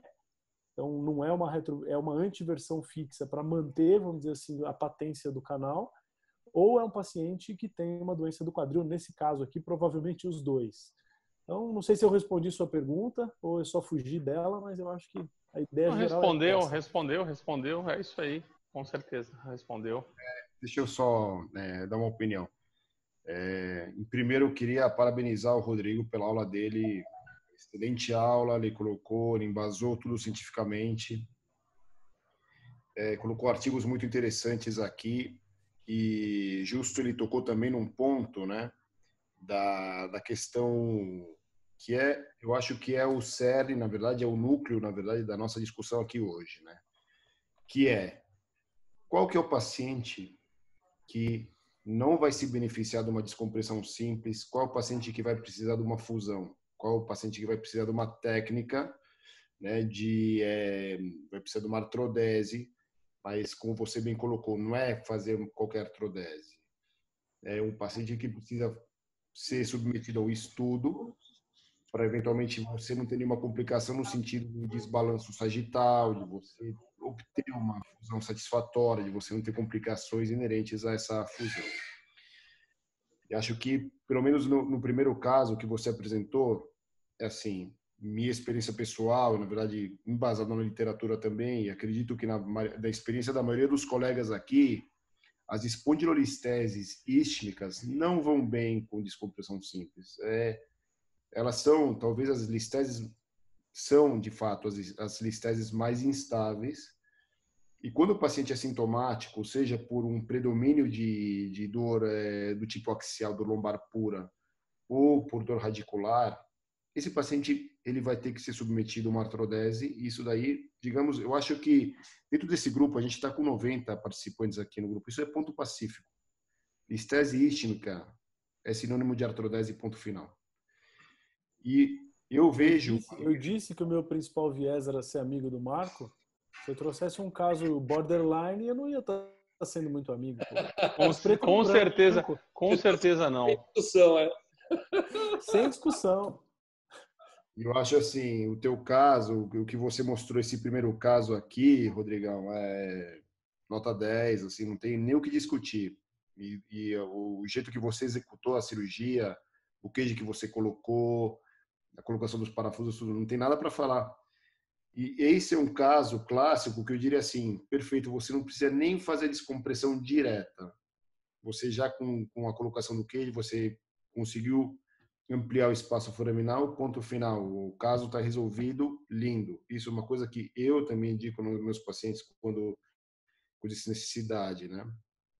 Agora, é, eu vejo a instabilidade, é, que, que, nem você colocou com, com o artigo do Simons, ele estratificou a instabilidade em três graus, né? grau 1, grau 2, grau, grau 3, dependendo do, da, dos achados clínicos, mas as pessoas costumam achar, não, esse paciente, dividir pacientes, né, no consultório. É, esse daqui é estável, esse daqui é instável. E não é bem assim. Não é dicotômico. Instabilidade não é dicotômica. Isso aqui é instável, esse é estável. Eu vejo, na verdade, os graus de mobilidade. Existem diversos graus de mobilidade, existem diversos graus de instabilidade. Existem graus de instabilidade, pequenos graus, que aceitam uma, uma descompressão simples. Existem graus de instabilidade que não, não aceitam uma descompressão simples. Hum. Graus de mobilidade ou instabilidade, queiram como queiram denominar. Eu tenho casos que eu descomprimi ou simplesmente eu fiz descompressão de seja por hérnias ou estenoses degenerativas com listese, que não foram bem com descompressão simples, mas que no momento em que eu precisei revisar de artrodesar, não comprometeu o resultado final. Então, quer dizer, valeu a tentativa. Porque a maioria dos casos que eu fiz, não precisei nem revisar, o então, paciente subiu, ficou bem. Eu acho assim, a gente tem alguns, as ações de Bom, é... enfim, eu acho que, na verdade, assim, eu só quis colocar uma pimentinha, eu quero ver, assim, o, o desfecho. Agora, quanto, na verdade, você colocou aqui que a redução do sacral slope, né, na verdade, a, a, a anteversão da pelve é um sinal que talvez o paciente está passando um desbalanço sagital. Eu discordo um pouquinho de você, Rodrigo, no sentido que muitas vezes, quando um paciente estenótico ele tem que inclinar, na verdade, o tronco dele para frente, ele vai Não, se fotizar a curvatura lombar dele é exatamente isso. Para manter o equilíbrio da, da, da, do tronco dele, do, do, do, equilíbrio sagital, ele vai ter que é, é, anteverter um pouquinho a pelve dele. Então, assim, é normal que o cálculo da, da, do sacral slope dele vai reduzir, o ângulo vai reduzir. É exatamente isso, Davi. Na verdade, o, o achado, a estenose, ela é um falso motivo de desalinhamento sagital. Então, é exatamente isso que você está falando. O que eu quis dizer é que para pacientes com grau de estenose, por exemplo, como a paciente agora dessa segunda, desse segundo caso, né, que é uma estenose absoluta, inquestionável, às vezes você vê um paciente em que tem, né, um sagital. Essa, essa especificamente não é uma paciente que tem um sagital horrível, né? Ela tem uma retificação segmentar, ela tem alguns sinais, né? O ápice da lordose lombar está tá transladado para superior, ela tem uma retificação da cifose torácica, e nesse caso específico, você percebe que o, o, o tilt da pelve ele é, é até menor do que o esperado. Então, é exatamente isso que você está falando. No paciente que tem estenose, a gente tem um falso desalinhamento sagital, não às custas de uma deformidade vertebral verdadeira, mas às custas de uma necessidade de manter a patência do canal do, do forame, do, do, do canal central. Então, exatamente, existe uma antiversão da pelve com, com SVA positivo, ou seja, é, é, dicotômico, né? Ela, ela altera o SVA antes de retroverter a pelve, o que não faz sentido nenhum do ponto de vista de mecanismo de compensação, mas é uma resposta fisiológica à compressão neural. Então, você tem toda a razão. O Marco me perguntou exatamente isso. Acho que essa zona que é a zona que é a obrigação de qualquer cirurgião de coluna, seja ele neurocirurgião, ortopedista, endoscopista, é, todo mundo tem que saber. Isso é regra básica. Cortar só o Marco levantou para você cortar. Foi é lógico. combinado isso antes, né? Eu falei esse que o maior conflito era esse.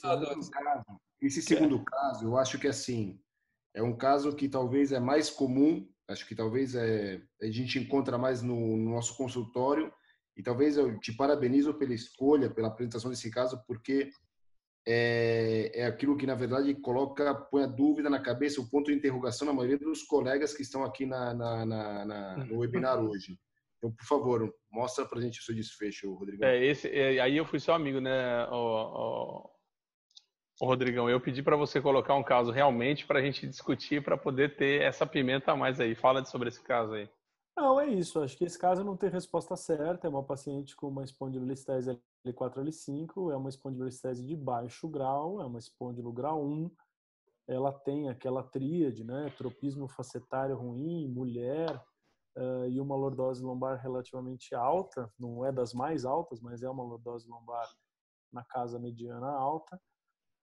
Uh, é, pela raio-x extensão, dá a impressão realmente de uma instabilidade, né? A gente vê uma mobilidade facetária grande e um pouquinho de translação, até do ponto de vista angular, se você medir lá. Eu não costumo fazer medida angular, né, do, do, do raio-x, porque eu acho que me traz pouca informação, até porque o Davi falou muito bem, né? Uma hipermobilidade ou uma instabilidade são coisas muito diferentes e que a gente não sabe qual que é qual. Quando a gente põe ela em decúbito supino para ressonância magnética, a gente percebe que tem uma redução significativa, mas mesmo na ressonância, a estenose é uma estenose brutal, né? Estenose biforaminal, uma estenose central, o canal que, puxa, o trabalho, vamos dizer assim, para fazer é, uma descompressão num paciente como esse, pelo menos na minha mão, é um trabalho grande. Eu faria, né, se eu selecionasse um caso desse para uma descompressão, e aí eu já vou adiantar qual foi a minha escolha, eu faria uma descompressão uh, over the top, então faria uma técnica tubular uniportal bilateral, mas mesmo assim eu fico às vezes insatisfeito com a minha descompressão foraminal, principalmente do lado ipsilateral, porque eu tenho às vezes um portal de trabalho contralateral melhor de forma angular, né, do que o que eu tenho do, do meu lado. Então, para um caso como esse, né, com uma instabilidadezinha questionável e com uma estenose importante dos dois lados, a minha opção foi por fazer uma descompressão indireta com uma técnica lateral e a colocação de fixação percutânea por via posterior esses são os dados intraoperatórios, então eu fiz um X-Leaf em L4, L5. Aqui a gente vê a imagem intermediária, né, antes da fixação, e a gente percebe que grande parte da redução da minha deformidade, tanto em altura discal quanto em translação, foi só através do meu dispositivo intersomático. Eu até circulei aí a área do forame. Uh, o tempo total de cirurgia foram três horas, e aí nesse momento histórico, né, eu vinha fazendo essas minhas cirurgias em dois decúbitos diferentes, então eu fazia por via lateral, depois virava para o paciente em decúbito ventral e fazia por via é, posterior à fixação. Hoje eu já venho fazendo isso através de uma abordagem single position, né? então eu mantenho o paciente lateral e faço a minha instrumentação posterior é, com o paciente em lateral mesmo. E mais modernamente agora, principalmente com uma técnica que a gente vem desenvolvendo, né, e aí a grande crítica com relação a essa construção, particularmente, é a restauração da lordose lombar, né? Você percebe que apesar de eu ter conseguido uma grande descompressão indireta, eu acho que é indubitável aí a descompressão do canal, é, e de eu ter conseguido uma grande altura discal, é, pela posição que a gente coloca cage em decúbito lateral, ela não favorece muito o ganho da minha lordose. E aí eu acabei terminando num caso como esse praticamente com a mesma lordose que eu tinha antes. Então o que a gente vem fazendo hoje, né, de 12, 14 meses para cá, é utilizando uma técnica que a gente chama de prone transpsoas, que é fazer a fixação posterior e a abordagem lateral, toda ela em decúbito prono. E aí a gente usa o paciente em posição prona sobre uma mesa de Jackson a gente faz a abordagem do, do disco intervertebral através de uma técnica transpessoas convencional, com alguns retratores e alguns sistemas de, de monitorização, inclusive, é, diferentes, e a, faz a fixação percutânea é, na mesma posição. Então, isso para a gente tem ganhado bastante notoriedade, a gente tem uma expectativa muito boa com esse procedimento, inclusive, recentemente publiquei eh, nossos resultados preliminares com relação especialmente ao ganho de lordose na European Spine Journal e é realmente algo que eu né, vou colocar aqui como, como uma dica, né? Todo mundo ficar de olho nisso porque a gente vem fazendo isso há bastante tempo e realmente a gente achar que está na hora de mudar por algum motivo é porque é, nos chamou a atenção.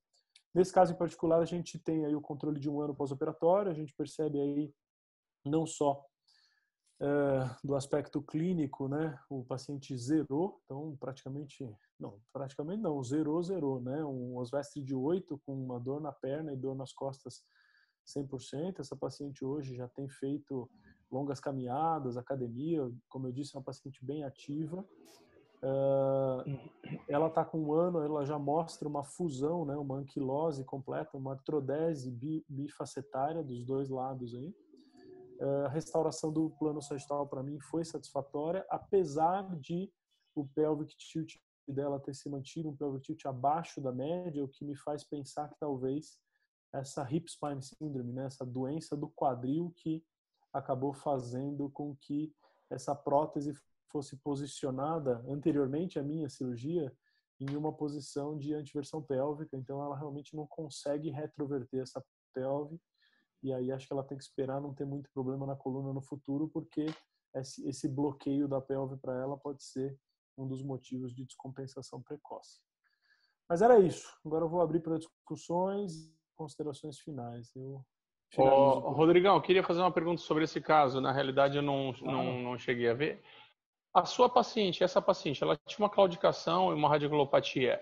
O quadro dela era mais de L4 ou era um quadro mais de L5 neste caso? Você ela se recorda? tinha uma claudicação, não, ela tinha uma claudicação típica, aquela paciente que fica em pé e a coxa falha e ela não consegue andar porque ela arrasta as pernas. Ela não tinha uma, uma claudicação radicular. Você não conseguia uma identificar se, se a compressão dela poderia ser essa estenose foraminal pela diminuição do espaço ou se ela poderia ter algo de claudicação referente à estenose central. A minha dúvida nesse caso seria, para eu, pra eu realizar meu, meu, a minha descompressão, né?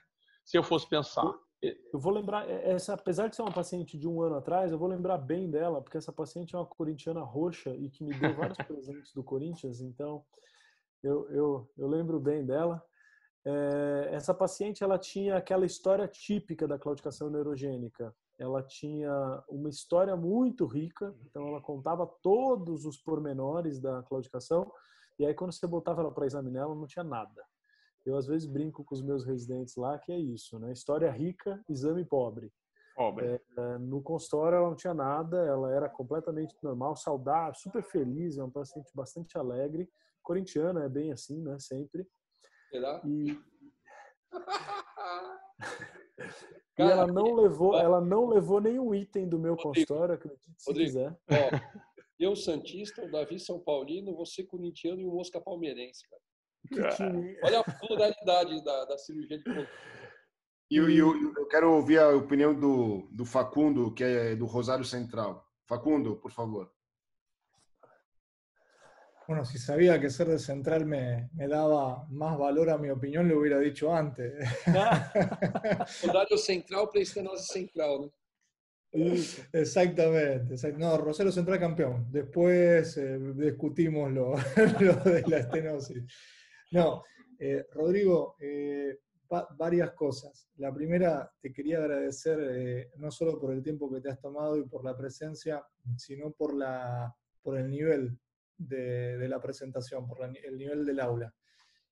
Y quería hacer extensivo esta, este agradecimiento a tu papá, al doctor Pimenta, porque uno a veces se olvida, eh, el nombre ex-leaf suena muy eh, futurista, anglosajón, pero es una creación brasileña, es una creación sudamericana, eh, que es un regalo de Brasil al, al mundo. Así que eso es importante reconocer, no solo Brasil y Sudamérica tienen una cirugía de columna de primer nivel, sino que es una cirugía innovadora, es una cirugía capaz de eh, generar todo este tipo de, de- de- de- de revoluciones en la forma en la cual se hace eh, cirugía mínimamente invasiva.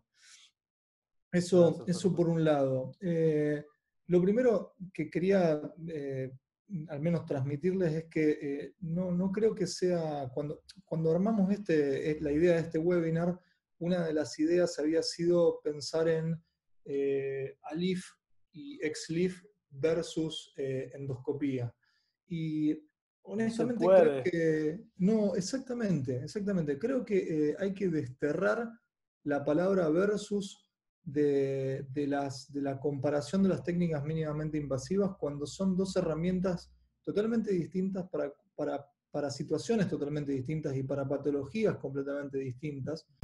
Y sería lo mismo que si eh, a eh, un pintor uno le pidiera que eligiera el mejor color o así un escultor le dijera si prefiere el, el, martillo o el cincel, o si a un obrero le pidieran que eligiera su mejor herramienta. Creo que para cada caso en particular hay una, hay una, una técnica más adecuada y creo que el desafío está, o lo que se puede discutir a lo sumo, es en, en qué caso podemos aplicar tal, tal técnica o tal otra.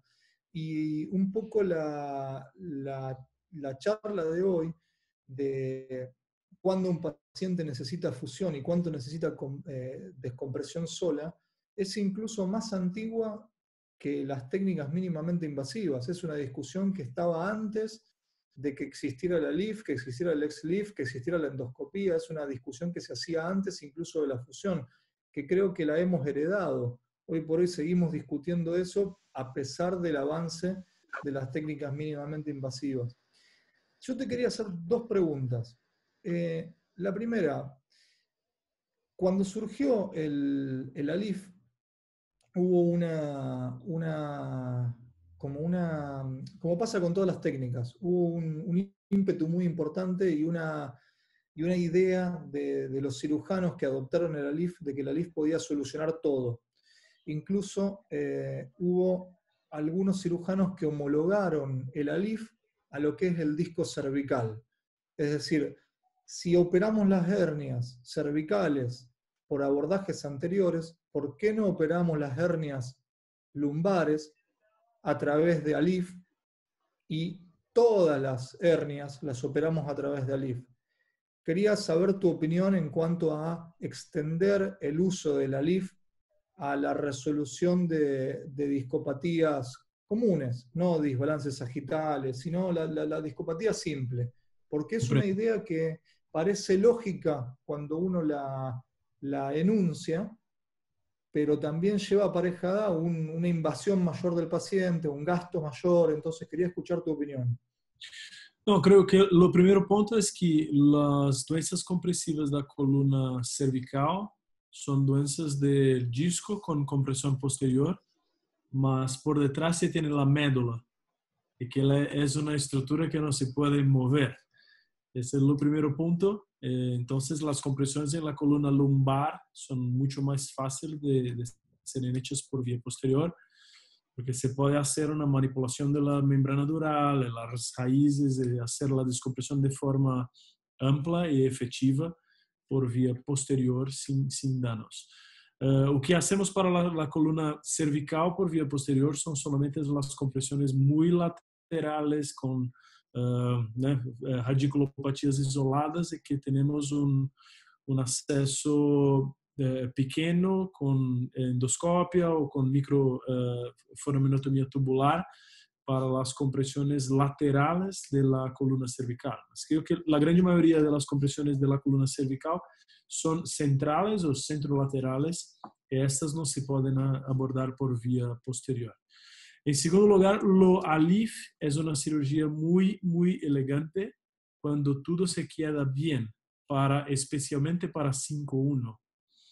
Eh, se hace una abordaje eh, arriba de 5-1, L4, L5, L3, L4, L2, L3 máximo, eh, se tiene que tener o una expertise muy, muy grande en la abordaje o uh, un buen cirujano de abordaje. Porque si las cosas no se quedan buena, buenas, la cirugía de ALIF es un pesadelo, es un nightmare. Entonces creo que, creo que son indicaciones diferentes uh, y creo que lo, la mejor indicación para un, un ALIF es uh, lo nivel 5.1 o em níveis que a bifurcação seja mais alta e que se possa ser uma abordagem 4551 por entre eh, os vasos. Em todas as vezes que te tem que mobilizar os vasos, ligar la, o ramo ilio-lombar, as segmentárias, o alif não é uma cirurgia simples, é uma cirurgia com uma morbi mortalidade hasta eh, elevada. Então, a comparação com a cervical es puramente para los cirujanos que tienen un cirujano de abordaje muy expertise, eh, experiente, que le ponen la columna adelante y que solamente le causa las luvas cuando está pronto para hacer la disectomía. Rodrigo, y una, una pregunta. No te, quiero, no, no te quiero invadir con preguntarte cuántos casos tenés de Alif, pero me imagino que serán millones, miles. Te quiero hacer eh, una pregunta. ¿Le seguís teniendo miedo a la eyaculación retrógrada? Sí, no- nosotros hacemos la, la- los segmentos de todos los pacientes con ALIF. eh, lo que pensamos ahora que la eyaculación retrógrada para ALIF no es algo relacionado a lo ALIF por sí só, mas eh, por la, la movilización de lo plexo eh, hipogástrico, por lo plexo que se queda sobre los vasos de la columna. Eh, ahora nosotros usamos como de, eh, de- o bipolar para eh, coagulación de la sacral mediana y la movilización de toda la membrana de la fascia prevertebral. Eh, la tasa de eyaculación retrógrada hasta 8, tal vez 9 años es 0.5% en nuestra muestra. Más, más frecuente en caerte de un avión. Así ofrecemos a todos los pacientes hombres eh, jóvenes la opción de hacer una doación y congelamento de, de esperma preoperatorio. Rodrigo, Guilherme uma Meia. pergunta. Fala, Rodrigão, tudo bem? Tudo bom, Gui? Parabéns pela aula aí, meu amigo. Obrigado eu tenho, pelo... tenho, eu tenho algumas dúvidas, né? Ah, várias. Eu vou te fazer algumas perguntas principais aqui, de várias que eu tenho, que depois a gente bate um papo.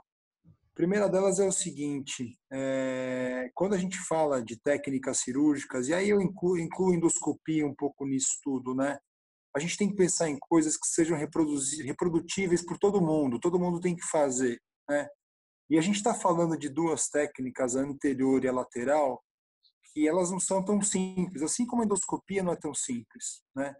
Então, ah, em primeiro lugar, é, assim, para abordagens que não, que não é o 5-1, que é aquele nível filezão para o Alif, e você pensa num Alif, você usa um cirurgião de acesso? Essa é a minha primeira pergunta. Segunda pergunta, frente a essas duas abordagens, onde você tem vantagens como um footprint, uma artrodese sólida, você ainda enxerga utilidade no TILIF, no mini TILIF? E se você, e que, qual que seria o caso que você usaria essa abordagem, ou você já abandonou o mini TILIF e acaba não fazendo mais? Eu falo um pouco disso até pensando na minha prática pessoal no nível 4-5, porque é um nível onde é, é, é, o X-LIF Puxa, eu já tive algum, algumas, alguns pacientes com, com questões neurológicas uh, e, e, e, a própria abordagem anterior, você tem um pouco de receio, porque ali você tem a bifurcação. É, então, eu queria que você falasse do acesso como um cirurgião de acesso e queria que você falasse um pouco do TILIF na tua prática. Eu, é, obrigado pela pergunta, Davi, o, o, Guilherme. Eu, na verdade, eu até hoje já me coloco de certa forma como um cirurgião de acesso também, porque há muito, muito tempo eu já abandonei a, a, a utilização de cirurgião de acesso para as minhas abordagens anteriores e eu, de certa forma, por ter assumido essa, esse caminho, acabei fazendo muito acesso para muita gente. Então, muita gente me convida, me convida às vezes para é uma experiência diferente, né? Você fazer um alif pela primeira vez com, com um cirurgião de acesso, que é alguém que às vezes te entrega a coluna de forma fantástica. Pronta, não tá pronto. Dali, é, mas a partir dali é com você, né? Ou seja, para quem nunca fez um alif, quando ele vê a coluna de frente, ele vai comparar com uma cervical mesmo. Então, é uma experiência diferente, às vezes, fazer um primeiro alif com um cirurgião de abordagem, e que ele não sabe muito sobre a altura do cage, modo de preparar o platô, o tipo de descompressão que você vai fazer, a seleção do hardware, essas coisas, e fazer um alif com um cirurgião de coluna. Então, eu tenho feito isso várias vezes e acabo me colocando de certa forma, né, entre aspas, porque não é uma coisa que eu que eu gosto de fazer, abordagem para os outros, né? Cirurgião de coluna fazendo acesso para os outros é chato, mas quando é do ponto de vista educacional, eu gosto muito de, de participar. Uh, e para são duas realidades completamente diferentes. Fazer uma abordagem ALIF para L5S1 é uma é uma é uma cirurgia com uh, expectativas, com estatísticas muito estandarizadas, né? Com o tipo de complicação que você vai ter, é muito previsível. E para é, é, 4-5, 3-4, 2-3 é outra cirurgia. Eu acho que são cenários completamente diferentes. Então, para quem faz a LIF, precisa entender que é, são duas cirurgias diferentes, indicar um 4551 ou indicar um L4, L5 isolado.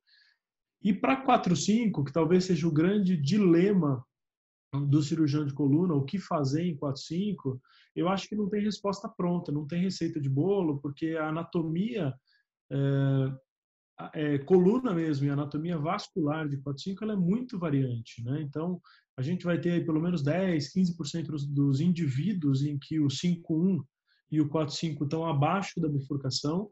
Então, se você tiver uma patologia em dois níveis, no geral, você faz uma abordagem anterior convencional para 4-5-5-1 abaixo da bifurcação, que é, né, usando um termo chulé, teta, é super standard, é uma cirurgia, é um passeio. Uh, e para quando você tem um 4-5 em que uh, a anatomia é convencional, um X-Leaf 4-5 é, também é um passeio, né? Você já fez vários, eu sei. Uh, não é uma cirurgia difícil, um X-Leaf 4-5 com anatomia diferente, é anatomia convencional. O problema é a anatomia de transição, quando você não sabe se vai X-Leaf, você não sabe se vai A-Leaf, Nesses casos, nem a opção do OLIF L4, L5, eu vi, é, surgiu uma pergunta ali no chat. Quando é, bifur, é, é, é transicional o nível, o vaso está lateralizado, e aí você não tem mais o corredor do OLIF também, porque o corredor do OLIF é à esquerda entre o vaso e o bordo anterior do psoas. E quando é uma anatomia transicional que o vaso está lateralizado, o OLIF também não serve. Então, aí fica a dúvida, né? Aí realmente vai um pouquinho da experiência do cirurgião, vai às vezes da opção do cirurgião. E uma das coisas que nós agora temos trabalhado é na possibilidade de tentar fazer esse, essas múltiplas abordagens em acesso único, né? Então, em posição única para fazer a LIF, fixação, tudo em posição única, seja ela em posição lateral ou às vezes com a opção agora de fazer por via posterior com posição prona. O Tilif realmente é alguma coisa que está fora do meu arsenal base. Eu uso o Tilif em duas condições. Quando eu tenho uh, uma necessidade obrigatória de fazer uma abordagem posterior, e aí, sei lá, uma hernia extrusa migrada em que eu não vou ter acesso pelo, uh, por uma abordagem lateral ou por uma abordagem anterior, e aí eu tenho que descomprimir de qualquer forma aquele canal, às vezes eu tenho que tirar uma faceta, porque o ponto de compressão é, é abaixo da faceta e eu opto às vezes por um T-Leaf ou quando realmente não existe opção é, de negociar uma outra via e aí eu estou falando de questões mais burocráticas, convênio, é, do que propriamente indicação mesmo. O ano passado, 2019, eu me orgulho de dizer que eu fiz somente dois Leaf graças a Deus foram muito bons, foram muito bem indicados e bem e boa evolução, mas realmente está fora do meu arsenal terapêutico. Então, só para complementar, então, para a gente que é, eu uso um cirurgião de acesso nos meus alifes, o que, que você sugere como um caminho para você aprender uma via de acesso para um alif e se tornar um indivíduo autossuficiente? A gente tem um monte de curso de lateral, a gente tem um monte de curso de endoscopia. Agora, curso de acesso de anterior, é uma dica para você montar aí, Rodrigão. Então, na verdade, eu não sei se isso é uma, uma solução legal, né? Eu acho que, assim, é, é, existem alguns aspectos que são médico-legais até, né?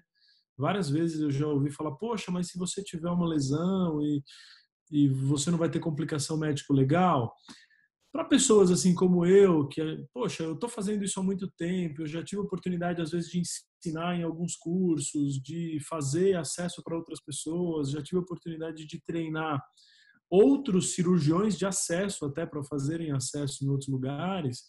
Eu acho que é muito fácil de me defender perante a qualquer questionamento. O cara vai falar, pô, mas você estava fazendo o seu acesso? Sim, eu estava, porque é alguma coisa que eu faço normalmente. Agora, não é todo mundo que dedica a sua carreira, vamos dizer assim, nesse caminho, né? Então, eu não acho que é uma coisa que, que seja um desejo. É, o que eu acho que talvez facilite muito o, a, na navegação, vamos dizer assim, do cirurgião de coluna pela via de acesso autossuficiente, primeiro é acompanhar vários procedimentos como esse. Segundo, se restringir na enorme maioria das vezes ao disco 5.1, porque aí eu acho que realmente é previsível. A LIF né, teve um webinar recentemente que do, na VUMED que falava a LIF is king in L5S1, ou seja, o, o, o rei do 5.1 certamente é o Alif, não tem cirurgia melhor para L5S1 do que o Alif. Uh, e eu acho que se você se restringir a fazer abordagem L5S1 com sistematização da técnica, você vai ter bom, bom, bom resultado. Agora, se você partir para fazer 4-5, fatalmente você vai ter lesão de vaso, fatalmente você vai ter sangramento, vai ter desestesia simpática, é, é, desautonomia simpática por conta da manipulação ali do, do do plexo. Então é outra, é outra via, é outra cirurgia, e aí eu acho que vale realmente a experiência de quem faz o dia todo, né? De quem faz, tipo o Aécio, que é um gênio do acesso, tipo o Nuno tá seguindo o mesmo caminho, tipo o Zé Augusto, tipo o Cristiano Pinto do, de, de, de, de Curitiba, tipo o Thomas, o Thomas Schaffer, que faz com a gente em São Paulo há muitos anos. E esses caras são nomes uh, acima da curva aí para acesso. E acho que é isso. Acho que essa é a resposta. Rodrigo, eu tenho uma pergunta para você no sentido seguinte. Meu, meu complexo, eu tive esse ano, a gente teve na equipe uma menina jovem, biomédica, ela estava fazendo, ela estava indo para fazer o mestrado dela em mestrado não, doutorado ou pós-doc em Londres, mas a questão da pandemia melhorou tudo. Ela tinha uma listese, vai, grau 1, istmica, né, em L5S1, e a gente tentou tratar de todas as formas, fisioterapia, não deu certo, o caso era cirúrgico. Enfim, eu falei para ela o seguinte: a gente tem duas opções. A gente faz, a gente pode fazer uma via de acesso posterior, um TLIF em L5S1, que bom, a gente tem alguma certa experiência, nossa que veio o Balu, o professor Puerta, bem. A gente faz também um TLIF em L5S1, a gente nunca teve nenhuma complicação, mas a gente também pode fazer um ALIF, uma via de acesso anterior, que tem, um, digamos assim, um resultado, ultimamente, os estudos têm demonstrado uma superioridade nos resultados, e a gente faz uma complementação com fixação percutânea posterior. Ela falou assim, uma menina, acho que ela tem 28, 29 anos, ela falou assim, mas escuta, mas você vai fazer o que um corte na minha barriga? Então é, é, é, essa é a minha pergunta, como que como que é a aceitação dos pacientes com relação à via de acesso anterior? A menina falou assim, ó, você vai abrir um corte na minha barriga nem a pau. Pode abrir por trás, abre minhas costas, faz uma via de acesso no meio tudo bem que vou, vou sentir mais dor no pós-operatório, aguento a dor, mas assim, ó, corte na minha barriga, ninguém vai fazer. A não ser que eu tenha uma necessidade de uma via de acesso anterior na minha barriga mesmo. Eu vejo que muitos pacientes meus não aceitam ter uma cicatriz, assim, a gente mora num país tropical, a gente mora num país que as pessoas as meninas, principalmente estou falando mulheres, vão para a praia e elas não querem ter nada na frente, nenhum tipo de, de, de cicatriz na frente. Você teve esse problema? Você já teve isso com tu, tuas pacientes? Como que você lida com isso? Na, na, então, na verdade, Davi, eu acho que aí talvez, assim, médico, a gente, a gente, a gente acaba não percebendo, numa conversa como essa, a gente acha que a decisão é do paciente, mas a decisão sempre foi sua, né? A partir do momento que você dá para ela uma você coloca para ela um par de igualdade, deixa com que ela decida se ela vai ganhar uma incisão nas costas ou na frente com o mesmo resultado, porque você realmente não está convencido de que a sua via de acesso anterior ela é superior por algum motivo é, para o resultado clínico dela, aí você abre esse tipo de precedente. Então, eu não, particularmente não tenho, porque para mim é uma convicção. Então, quando eu falo para o meu paciente que eu vou abrir a barriga dela porque aquilo é o melhor para a vida dela, no geral eu não tenho esse tipo de questionamento. E a gente tem alguns pacientes lá no consultório que, por exemplo, a gente tem uma surfista super famosa que a gente operou que puxa, ela é ganhadora de, de livro dos recordes aí, modelo e tudo mais, e tem um Alif com uma incisão na barriga. Uh, e ela nunca questionou a indicação da cirurgia da, da, da barriga dela, porque uh, não é um problema. Para ela, na verdade, a questão estava mais no biquíni, estava na dor dela, de verdade. Então, acho que assim, acho que a gente, como médico, a gente tem a, a total capacidade de guiar essa tomada de decisão baseada na nossa convicção. Então, se você colocar de forma indubitável para o seu paciente que, poxa, um Alif para você é a melhor indicação, porque o resultado certamente vai ser melhor a despeito de uma cirurgia da coluna, de, de uma incisão na barriga, desculpa, eu acho que ela vai se convencer. Segundo, às vezes a gente consegue fazer essa incisão na barriga lá no funistil, né? Então não tem nenhuma mulher no mundo que fale, olha, eu quero o meu parto só é, é, natural porque eu não quero ganhar uma um fanistil para ter o meu minha cesárea, não tem jeito. Entendeu? Não é uma opção do paciente, às vezes é alguma coisa que faz parte do que é melhor para ela e ponto. Então acho que faltou talvez convicção sua de falar para ela, tem que fazer e acabou. Então, Rodrigão, aqui o ponto é o seguinte: o que o Tilife não tem complicações assim, talvez um outro caso de, de subsidence, mas nessa paciente teve uma evolução super favorável, zerou a dor dela, mesmo fazendo um Tilife.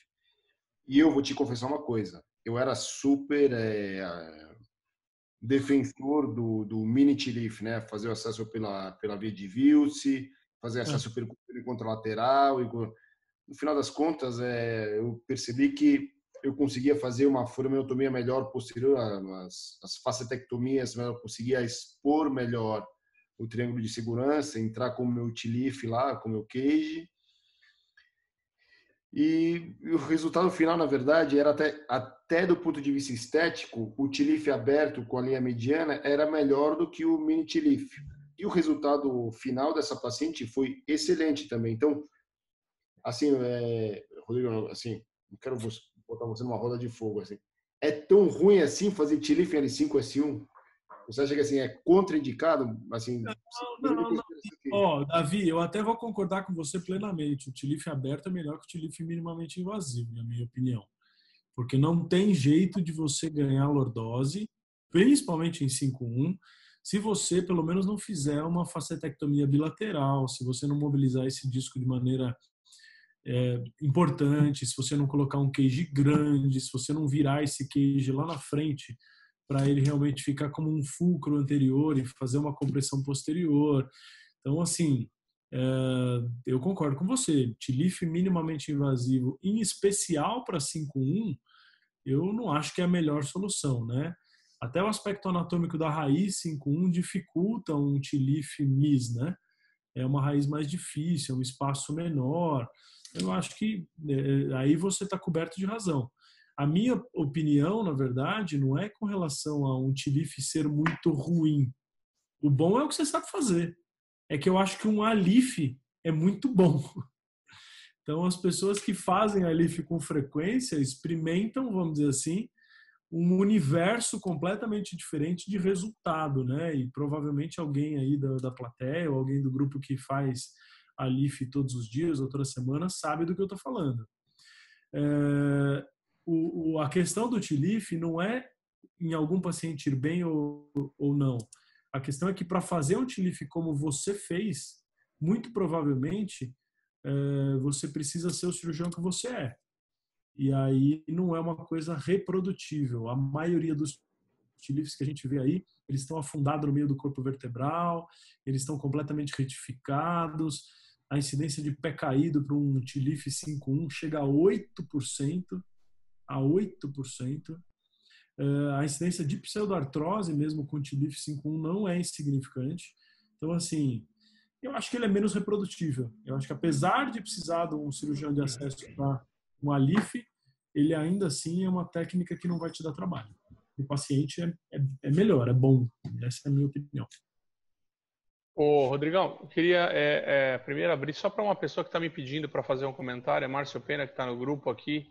Ele pediu para fazer algum comentário, eu não sei nem realmente sobre o que vai ser o comentário. E depois eu queria, na realidade, que a gente, se ficar aqui, a gente vai ficar até amanhã. Eu queria, na realidade, voltar no caso que a gente estava, no segundo caso, para ouvir é, todos esses caras que estão aqui com a gente falar um pouquinho do que fariam né, é, sobre o seu caso, que a gente não deu desfecho nosso sobre o seu caso. Márcio Pena, tá ouvindo? Estou ouvindo sim. Estão me escutando? Fala, meu querido, estamos escutando. Fala, Rodrigão. E aí, meu amigo? Legal te ver aí. Eu que agradeço. Imagina, primeiramente aí parabenizar você aí pela brilhante palestra aí, um assunto realmente controverso e que dificilmente vamos ter respostas aí ao longo dos próximos anos, décadas, sei lá. Mas enfim, amigo, queria te fazer basicamente aí resumindo três perguntas, vou tentar ser rápido aqui para a gente resumir. É, no primeiro caso, é, você abordou uma listese, né? uma listese lítica, e acho que você conhece, a gente trocou um pacientinho numa dessas consultorias que a gente fez, e sobrou para a gente fazer uma listese grau 2 para 3, só que de um paciente com uma listese é, não lítica, era uma listese displásica, né? Eu queria saber de ti o que, que mudaria um pouquinho aí na tua avaliação, se avaliar um pouquinho melhor a displasia do pedículo ou não. É, você sabe que aquele caso eu fiquei muito receoso de fazer a técnica com fixação apenas inferior para tentar puxar a vértebra de cima. É, em função disso, se para ti isso muda, se não muda. É, a segunda pergunta, em relação ao segundo caso, você comentou aí, a gente viu, discutiu aí nesses últimos webinários a, a colocação do X-Leaf em prone position, e a gente fica aqui tentando é, pensar e a gente está acostumado aqui a fazer na via lateral, né? E com certeza um dia vamos estar junto aí para a gente desenvolver melhor isso. E minha grande pergunta é assim: a gente tem alguns casos quando a gente faz X-Lift na posição lateral que no próprio posicionamento a gente tem alguns macetes no posicionamento para tirar é, a bacia da frente, né? E, e a gente conseguir fazer. Eu, por exemplo, não tenho acesso ao material oblíquo quando eu tenho a bacia como um empecilho na via de acesso. Eu não tenho acesso aqui em Belém a esse, a esse material, a esses instrumentais, digamos assim. Se vocês têm alguma dica no posicionamento para realmente tirar a bacia da frente ou não, se realmente tem que utilizar esses instrumentais. E a última pergunta para ti, que na verdade eu acho que é para todo mundo, a gente sabe aí que as descompressões indiretas aí, a gente tem até 10% é, de insucesso na descompressão indireta radiograficamente. Tudo bem que clinicamente aí é, um número menor desses pacientes vão precisar de alguma reabordagem de uma descompressão direta posterior. E queria saber o que, que é a tua opção nesse tipo de caso, se usas tubo, o que que tu usas para fazer essa descompressão suplementar e se achas que cabe aí a descompressão por endoscopia e se alguém aí do grupo tem aí alguma experiência em, em descompressões nesses casos em que a, a descompressão indireta foi insuficiente. Marcelo, obrigado, obrigado mesmo pela pergunta. São três perguntas maravilhosas. Eu vou falar bem rápido para a gente não, não, alongar muito a discussão. A LIF para listese displásica. Primeiro, entender que listese displásica e listese lítica ou degenerativa são dois bichos diferentes. Tá? Um em cada extremo do, do, do mundo, vamos dizer assim, da, da coluna. É, listese displásica, o Alif, ela não, ele não é uma solução, ele é uma opção que às vezes o paciente te permite ou não. Então, naquele caso em especial, eu sei qual é o caso que você está falando, era um paciente que tinha uma listese displásica que em decúbito dorsal, quando a ressonância mostrava para a gente, abria. Então, esse é um paciente em que eu acho que dá para entrar por via anterior, porque o trabalho que a gente faz, ele é um trabalho muito mais de distração do que de translação anterior. Então, o principal efeito que a gente exerce sobre a raiz é um efeito uh, descompressivo, não translacional, que é uma, uma dicotomia quando a gente fala em, em correção por via posterior. Listese istmica, né, lítica ou listese degenerativa, aí a gente, eu já diria que né, quase sempre, ou na enorme maioria das vezes, vai funcionar. Para displásica é outro bicho. A gente tem que pensar que listese displásica, às vezes o paciente tem uma mobilidade, quando você pega ela no momento certo, quando é aquelas vezes que é unilateral, que tem uma, pseudo, uma subluxação rotatória, o ALIF é uma solução, mas não é a regra. Ela é a exceção e a gente precisa lembrar que é uma solução elegante para quando isso dá para fazer. Segunda pergunta é com relação à abertura do espaço 4-5 para a técnica prono, né? Na verdade, a gente precisou desenvolver para isso um coxinho, um bolster, é um apoio que o paciente fica sobre a mesa de Jackson e esse apoio ele faz correções coronais do paciente. Então, a gente consegue inclusive corrigir pelo apoio a escoliose, não só a inclinação do L4 L5. É, cenas do próximo capítulo. O, o Serra corta essa parte aí do, da, da gravação do, do total, tá? Eu não falei isso.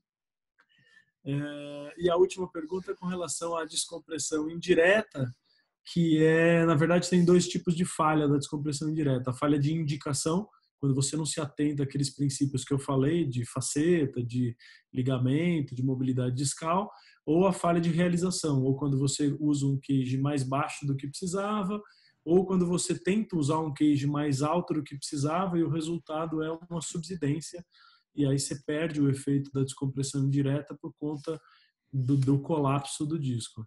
Então, acho que sempre funciona a descompressão indireta desde que você indique bem e que você tenha bom senso e sorte na sua é, fixação posterior.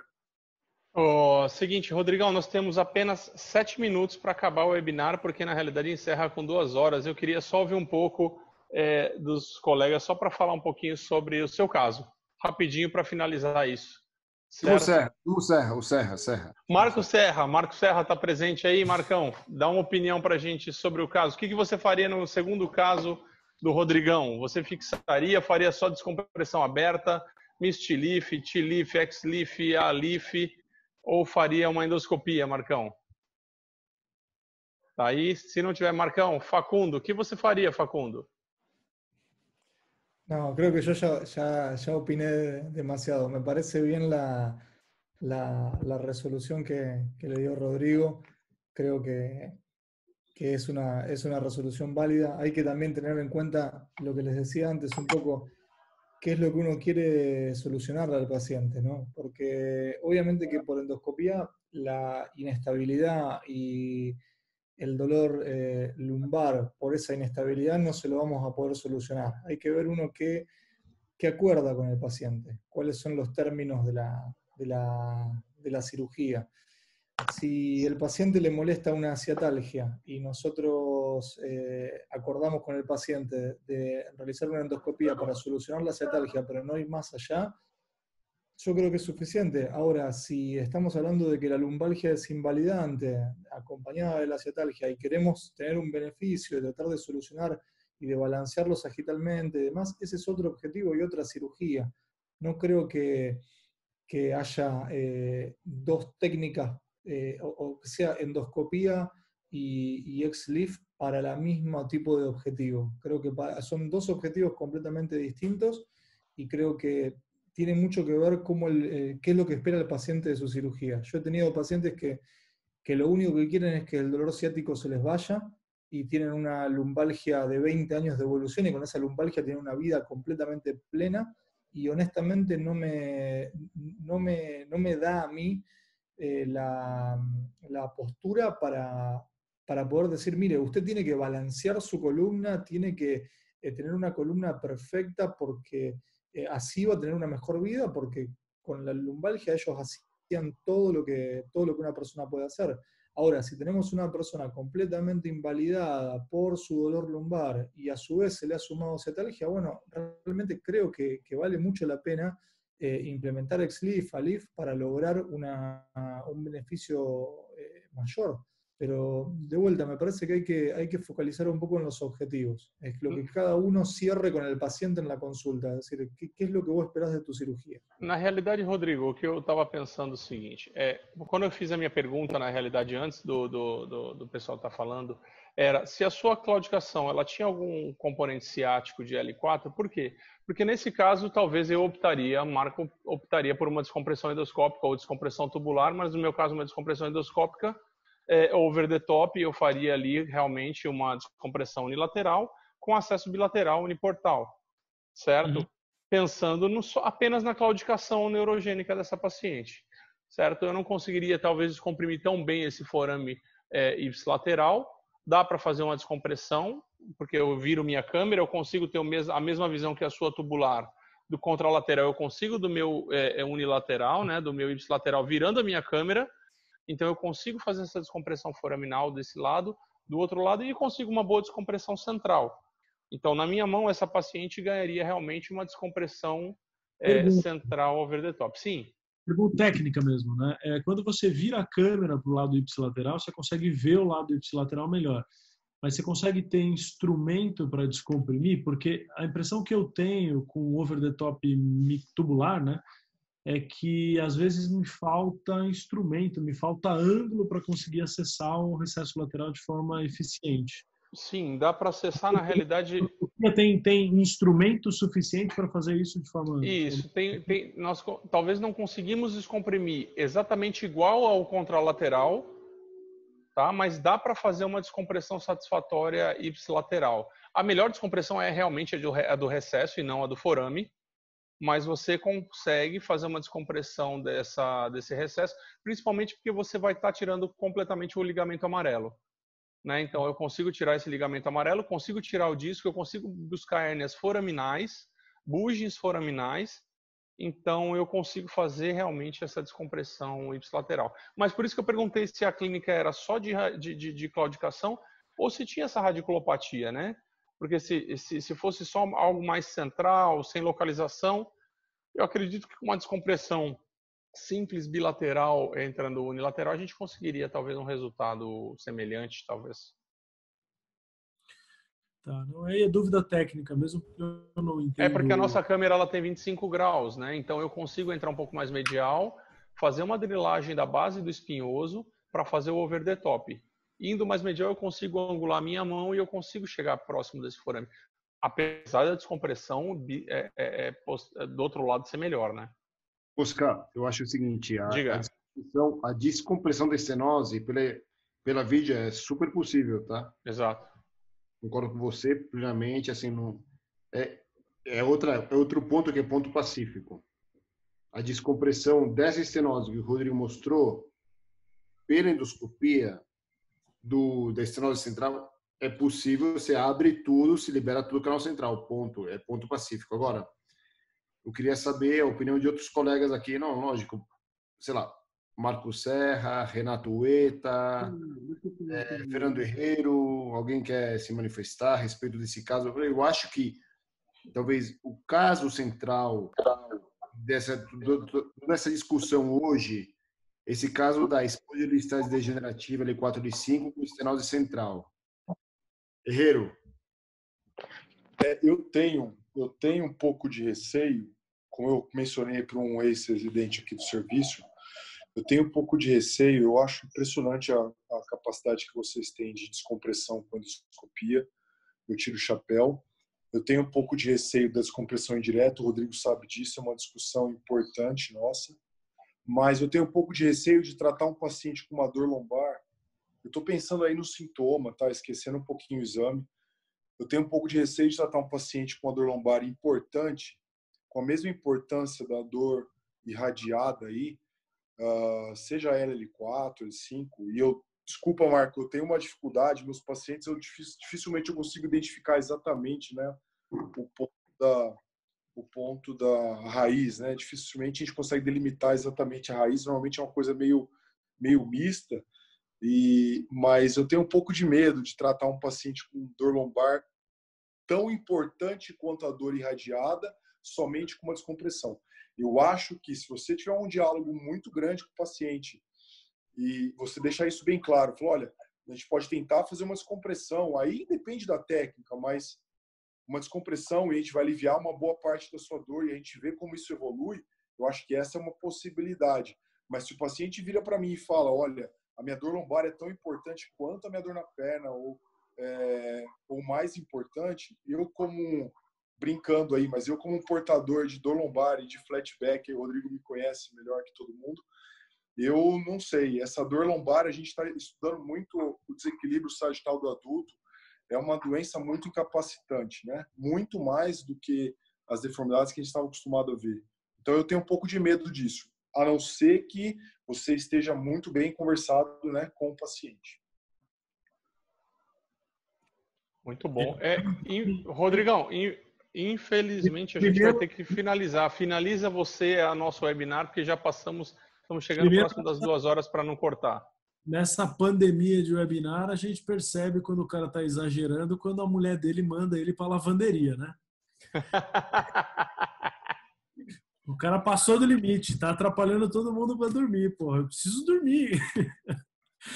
Fê, é, eu acho muito, muito, muito difícil isso. E, no geral, eu tento tomar a decisão baseado na, na carpintaria da coisa. Eu tento pensar o que, que é mecânico, vamos dizer assim, ou seja, o quanto daquela dor é protocinética, é, entendeu? É, é de mudança de posições, ou seja, o quanto a instabilidade, de certa forma, colabora com o sintoma ou o quanto aquela compressão neurológica é parte integrante, vamos dizer assim, da sua dor lombar. E eu sei claramente que tem paciente que tem dor lombar e você descomprime ele e ele fica completamente assintomático da dor nas costas.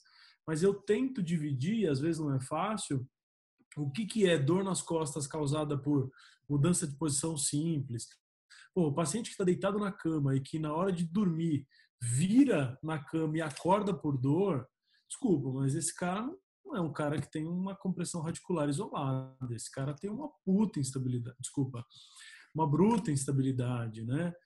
Então, eu acho que assim, é difícil a gente bater o martelo, mas eu acho que às vezes um pouquinho de bom senso, um pouquinho de interação com o paciente realmente define, define o caminho. Isso aí a gente foi chegar no começo da aula, né? Que é definir o que é instabilidade, né? É isso, acho que parabéns para a aula aí, Rodrigão. É isso. E esse é o desafio nosso. A gente não tem uma ferramenta, a gente não é capaz é, de ter uma certeza quanto ao que é instável, ao que é uma hipermobilidade, como o Davi falou. E a gente vai seguir nos webinars discutindo isso e fazendo endoscopia e fazendo descompressão isolada e fazendo artrodese de vários jeitos cada um defendendo um pouco o seu lado, mas acho que dificilmente a gente vai chegar num consenso, porque isso é uma resposta muito difícil a gente ter. O, o, o Meyer, sabe qual que é a melhor coisa de tudo isso? Até pouco tempo atrás, eu acho que a gente estava falando uh, entre uma coisa contra outro, outra, que é o que o Facundo acabou de dizer. E hoje, finalmente, eu acho que a gente consegue ter maturidade e convívio, relacionamento suficiente para conseguir entender que não é um contra o outro, tá todo mundo junto, todo mundo, quando abre a porta do seu consultório, não escolhe quem entra, se é um caso de endoscopia ou se é uma mielomeningocele com uma cifoscoliose grave, uh, e a gente precisa ser cirurgião de coluna completo para tratar todo mundo. Então, eu fico feliz por ver realmente a nossa sociedade científica crescendo junto e acho que me deixa cada vez mais orgulhoso de ser amigo de vocês, viu? Ah, moleque. Davi, quer fazer suas considerações finais? Olha, eu quero, assim, acima de tudo, dar os parabéns pro Rodrigo Asa. Meu, eu acho que, assim, existe um ponto da, da assim, ponto crucial para gente, né? Um dilema os cirurgiões que fazem cirurgia por vídeo, que é, putz, qual que é o nosso limite? Qual é a nossa nota de corte, né? Existe um certo ponto que a gente precisa ceder e admitir que o paciente precisa de uma artrodese. E é exatamente por isso, esse é o motivo porque o Rodrigão está aqui. Porque ele impõe, assim, ele, ele é meio que. A gente chamou ele aqui hoje porque ele é a voz da nossa consciência. Ah, escuta. A discussão hoje se baseou no quê? ele foi a voz da nossa consciência. Vocês podem chegar até aqui, a partir daqui, vocês ó, saem de cena ou se vocês estão dentro do, do jogo, vocês optam por é, continuar o tratamento, vocês fazem a artrodese dessa dessa outra forma, pela via de acesso anterior, lateral ou que seja. Então, eu acho que isso foi muito enriquecedor esse, esse tema, esse, essa discussão de hoje. Mas, acima de tudo, é que não existe uma. assim, não existe uma resposta hoje em dia, nossa literatura, experiência pessoal de todo mundo que está aqui, que é muita gente, a gente tem gente muito top aqui. A gente tem cirurgiões aqui no Brasil, posso falar, currículos impecáveis. E o fato é que não existe uma, uma resposta correta. A gente tem que se basear na, na tomada de decisão final. Aquilo que você está mais confiante para fazer, aquilo a técnica que você domina, aquilo que você acha que você vai dar, trazer o melhor resultado e a técnica que você vai trazer o menor índice de complicações para o paciente, entendeu? Então, assim, eu acho que hoje foi um dos melhores webinars que a gente teve até hoje. Assim, a gente começou, sei lá, no começo da pandemia. E eu estou muito feliz assim com o resultado de, da discussão de hoje. Quero, queria parabenizar a todos, principalmente ao Rodrigo pela exposição dele e agradecer por ele ter esse, assim, é, aceitado o nosso convite para participar de hoje. Enfim, eu queria abrir também para a colocação final de todos os outros moderadores aqui, Facundo, Mosca, Serra, que a opinião de vocês. Davi, obrigado, viu, cara? Obrigado. Para mim é uma grande honra. E eu, apesar de ter falhado em resolver aí a, o dilema, né, a dicotomia. Valeu nada, valeu nada. pelo contrário. Contrário, Rodrigão, você é um cara. puxar, sem, sem, sem rasgar a seda para você, você talvez é o cara hoje, um dos mais qualificados. Eu tenho orgulho de ter você aqui hoje para apresentar essa aula aqui no nosso webinar. Assim, eu te agradeço muito por você ter aceitado e ter vindo aqui conosco e compartilhar a tua experiência. Que honra, imagina. Obrigado, obrigado de verdade mesmo. Para mim foi, foi engrandecedor. Obrigado mesmo. Facundo, suas considerações? Sí, eh, voy a tomar una, una frase que dijo Rodrigo recién, que fue, no elegimos qué tipo de paciente entra, si es un paciente para endoscopía o es un paciente para, para hacer una fusión, pero creo que la obligación nuestra es reconocer cuál es el problema del, del paciente y reconocer qué es lo que el paciente necesita y también tomo un poco lo que dice David, de que tenemos que elegir un poco dentro de lo que se puede hacer qué es lo mejor para el paciente. Eh, a eso le quería agregar que a veces no está en nuestras habilidades hacer lo mejor para el paciente. No somos los expertos en XLIF, no somos los expertos en ALIF, eh, o no somos los expertos en endoscopía. Por eso creo que si hay algo que que importa en este tipo de, técnicas que son complementarias es formar equipo. Quizá eh, no sea posible ser el mejor endoscopista y el mejor experto en ALIF y el mejor experto en ALIF, pero podemos formar un equipo de buenos endoscopistas, buenos eh, cirujanos que coloquen XLIF, que coloquen ALIF y complementarnos entre todos. Y cuando el que entra es un paciente que tiene una patología que puede ser eh, solucionada por endoscopía, se soluciona en equipo con el especialista en endoscopía. Si el que entra al, cirujano endoscopista es un paciente que necesita una LIF, si tenemos un equipo que lo puede resolver, quizás sea para nosotros más fácil indicarlo y no tengamos que andar haciendo malabares con la endoscopía para tratar de solucionar un problema que no se va a poder solucionar. Entonces, creo que es muy importante cortar con gente como Rodrigo, como tantos otros que, saben hacer bien estas técnicas de, manera experta para poder de alguna manera eh, resolver el problema del paciente y ofrecerle lo mejor. Porque si yo hoy, yo hoy Facundo, hablando por mí, me quedo con lo que yo solo puedo hacer, eh, realmente muchos pacientes se van a quedar con un tratamiento muy pobre. Prefiero tener un equipo variado de gente experta que complemente lo que yo sé hacer bien. Así que te quería agradecer, Rodrigo, por tu, por tu paciencia, por tu experticia y por haber aceptado la invitación de, un webinar que, es un poco, poco ortodoxo, sale de lo, de lo habitual. Eh, y gracias sobre todo porque ese vino no lo probé, pero lo tengo ahí, lo estaba viendo, ese, ese vino en cualquier momento muere. Así que gracias. Facundo, duas frases que podem parecer meio jargão, meio é, é, muito utilizadas, mas a primeira é la, para o cirurgião que é, é martelo, tudo se parece prego. E a segunda é a melhor técnica é a que você sabe fazer. E o melhor cirurgião é o que coleciona a maior habilidade de técnicas disponíveis. Então, Exatamente. faça o que você sabe, mas tente sempre melhorar. É, exatamente. O Rodrigo sempre fala, Rodrigo sempre fala. É, e, e, sempre tento, sempre tento, e, e, todo mundo acho que deveria tentar. O Facundo diz que ah, mas todos temos que saber é, as nossas limitações. Eu acredito que sim mas eu acho que a gente tem que ter no, no nosso arsenal um pouco de tudo. A gente não precisa ser o melhor em tudo, mas tem que ter no arsenal talvez um pouco de tudo. Para você saber não indicar, você tem que saber indicar, né? Então, primeiro, Rodrigão, é desafiador, cara, você você aprender mais técnicas, aprender mais acessos e maneiras diferentes de tratar nosso paciente. Eu queria te agradecer, cara. Primeiramente, a gente é, é, cara, tenho que te agradecer, é óbvio que eu tenho que te agradecer. É maravilhoso ter você aqui com a gente. Não tinha como não ter você no nosso webinar.